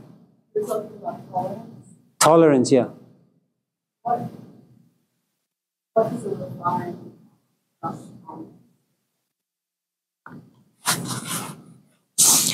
There is this Thai place in Roseville. It opened up about maybe five, six years ago. It's called My Thai Kitchen. So they come to your table and they say, okay, uh, what level of spiciness would you like it? From one to five, or zero to five. And then you say, oh, zero to five. I'll do a three, thinking a three is like one grain of pepper. Okay. Now the dish comes to your table, you put in your mouth, and you're about to like scream. You say, oh, well, I can't really tolerate three. So you call the person and say, can you change that to a two, a bit milder? Again, the food comes to your table and you taste it a little bit and say, oh my God, this is too much. And then you say, I want zero. Okay. And then they go back to the kitchen, they bring this food, and still very spicy. And I guess the answer to your question is none of us know our capacity until we are tested, very much like the book of Job. You know, we have a tendency of overestimating ourselves that we are in the proper place in life to look for wisdom, to be a good student, to be married, to be a mother, to be a father, to be a decent companion, to be a student. No, you only have the power to enroll in classes. Whether or not your ears are suitable to hear, whether or not you're able to listen to what you're hearing, whether or not you're able to understand what you're listening to. Those are a completely different set of stories, you know. So this idea of tolerance really comes with an event takes place. It's like my Thai kitchen. You eat the food and you say, okay, well, I don't think I'm made for this. Okay. Um, and it may be that you go to a restaurant where there is no refund. They're not going to make the dish again.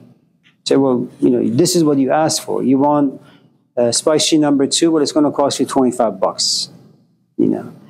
Um, and usually because you thought that you could, but life shows you that you can't, that you don't have the enough, enough tolerance or patience or stamina, resentment comes, anger comes, your ridiculous notion of justice comes, you know, and then everything gets messed up.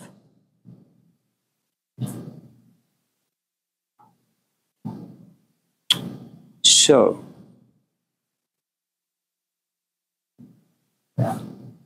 one of the rules of really, really good teachers is that they never tell you what you should do. You must always ask. Always. So you don't feel impos- imposed. Yeah, yeah, yeah, yeah, yeah. I was wondering what, um, coming of age, ceremonies are really huge in Yeah, a lot of different cultures. But I'm wondering if um, you think there are certain experiences that are crucial for coming of age as well. Certain what? Experiences, you said?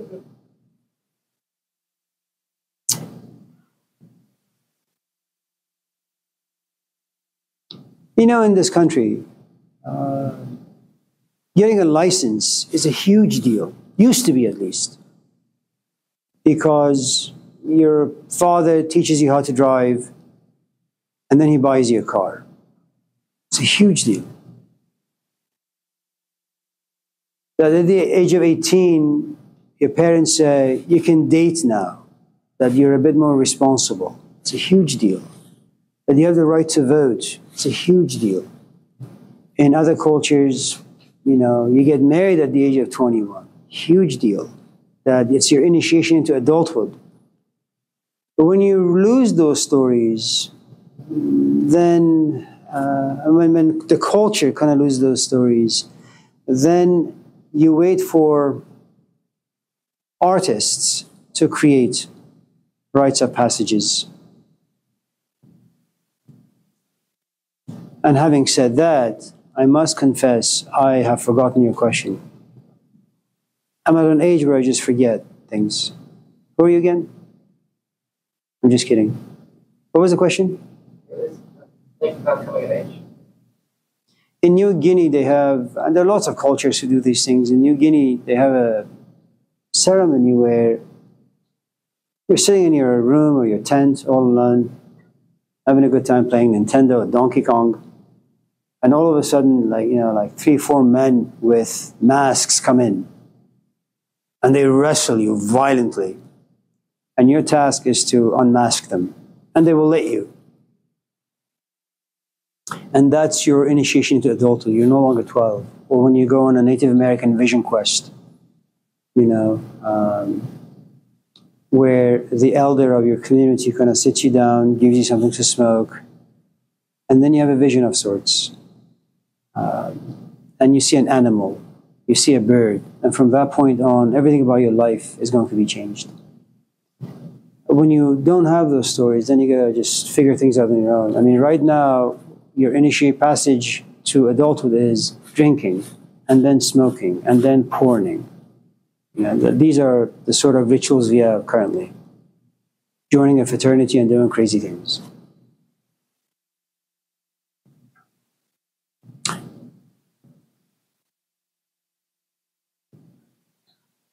What's the discernment and acceptance that we have when it comes to, um, I guess, someone coming down from the mountain with the commandments?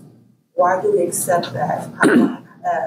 when it comes down to the preacher versus uh, somebody on drugs screaming talking to themselves, the uh, we flock to them and we accept what they have to say. Why is that? Why? If you talk on the phone and you tell us that you're talking to your mother, why would we all accept the fact that you're talking to your mom when we don't see her and we don't see God and we don't see who this crackhead is talking to? Um, where is that? That where do we discern? How do we make the connection? Like, okay, I understand that what you're going through is real versus he's crazy or they're crazy. Well, for the longest time in our, at least, history, um, to be crazy was to have bad spirits inside you and you were in need of exorcism. Okay? We no longer call it being spiritually crazy. What we now call is, you know, mental disability or mental sickness or mental illness. So the culture and our interpretation of crazy has changed a little bit. It's not enough for someone to come on TV or anywhere and just, you know, talk big talk and the rest of us follow him.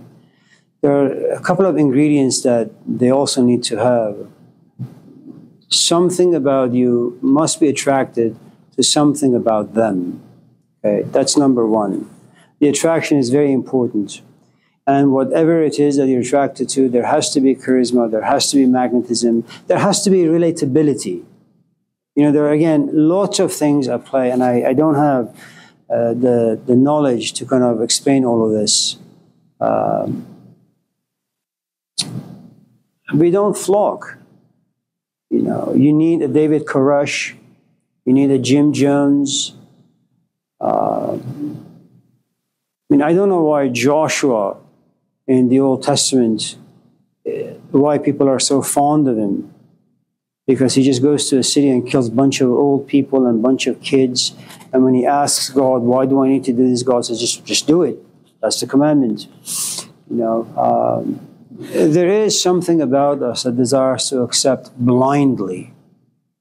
You know, and it's more intuitive than anything else. And the the other, I think, aspect is with the passage of time, everything falls apart. You know, even Aldous Huxley, I think he said it best. He said it, I'm just kidding, he said it best. Um,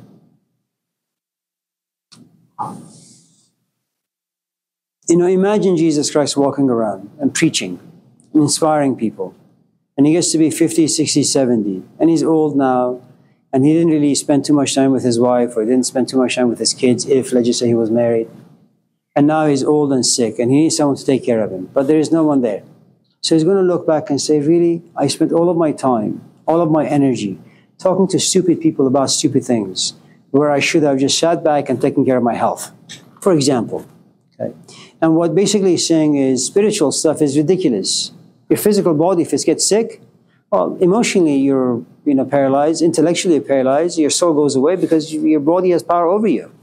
You know, and I guess the point is, with the passage of time, all things just crumbles. You have these tiny little moments in life where you come to worship another human being. It can be a romantic love, it could be like finding a teacher, whatever the case may be you know, sometimes I wonder what's going to happen when Al Pacino and Robert De Niro die. I mean, these are the best two actors we have. You know, I mean, they're no good anymore, but who can make Godfather anymore? You know, I mean, these are iconic human beings, right? and so you have these this, these couple of windows in life that something happens to you where you grow wings, you're inspired, you like walk on clouds. And you should cherish those moments because once those windows close, you're just a piece of meat walking the ground, going nowhere. You know, is it true that Jim Jones was a charlatan? Maybe. I mean, I don't know. I didn't didn't know him personally. Is it true that he told people to drink the Kool Aid and die, commit suicide? Yeah. Were people inspired to do that? Yeah. They weren't depressed, they were inspired. And all of a sudden, that thing inspired suicide. It makes suicide very, very different than someone who's depressed and has nothing going on.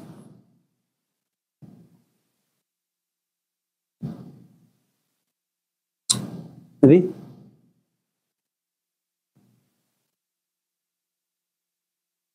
Yeah, weren't, weren't a lot of those people from the Bay Area? You know how Bay Area people are. Anyone else? Diana? That's it? Yeah. I was just wondering about the assignment. Oh, of course, of course. I was waiting. Go ahead. Um, so you need to explain all of the years or like You don't like hard work, huh? I do I don't mind hard work, but It's too much? they're just long. I'm sorry. We're supposed to of it. Now do the best you can. My recommendation AI. Chat GPT. Or pay someone to do it for you.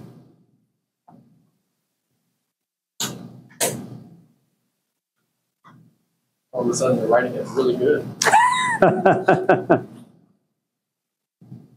I can only say this stuff because, you know, I know that it usually takes a long, long time to be able to write well. So I'm in no rush to read your essay, you know. Yeah, yeah, yeah. Uh, follow-up question to that is, Hello, Oh, how are you? good. I'm sorry to interrupt. Your van. It's the last one in the parking lot. We're trying to see if we can move it over this, this side. The parking over here. Oh, do I need to do it? The class will be over in like five minutes. That's fine. Okay, I apologize. No, it's okay. No, it's fine. Okay.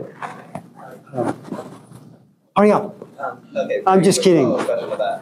Um, where- so it's, it's five essays within one assignment. The what? It, the, the final assignment, it's five essays within that one assignment. Um, is that worth more than the previous ones, or is it worth the same amount as the ones where it was just two videos or one video?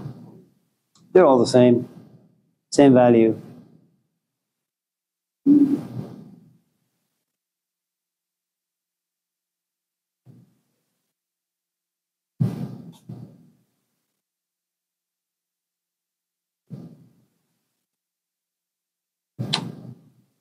Yeah.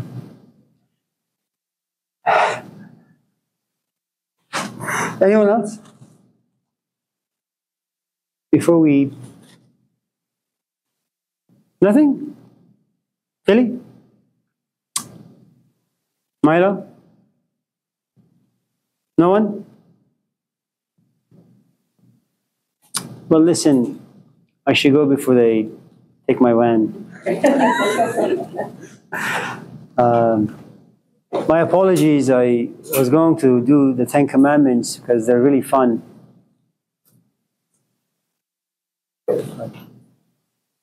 Yeah. So have a good evening. See you next week. Take good care. Thank you. Thank you. Thank you.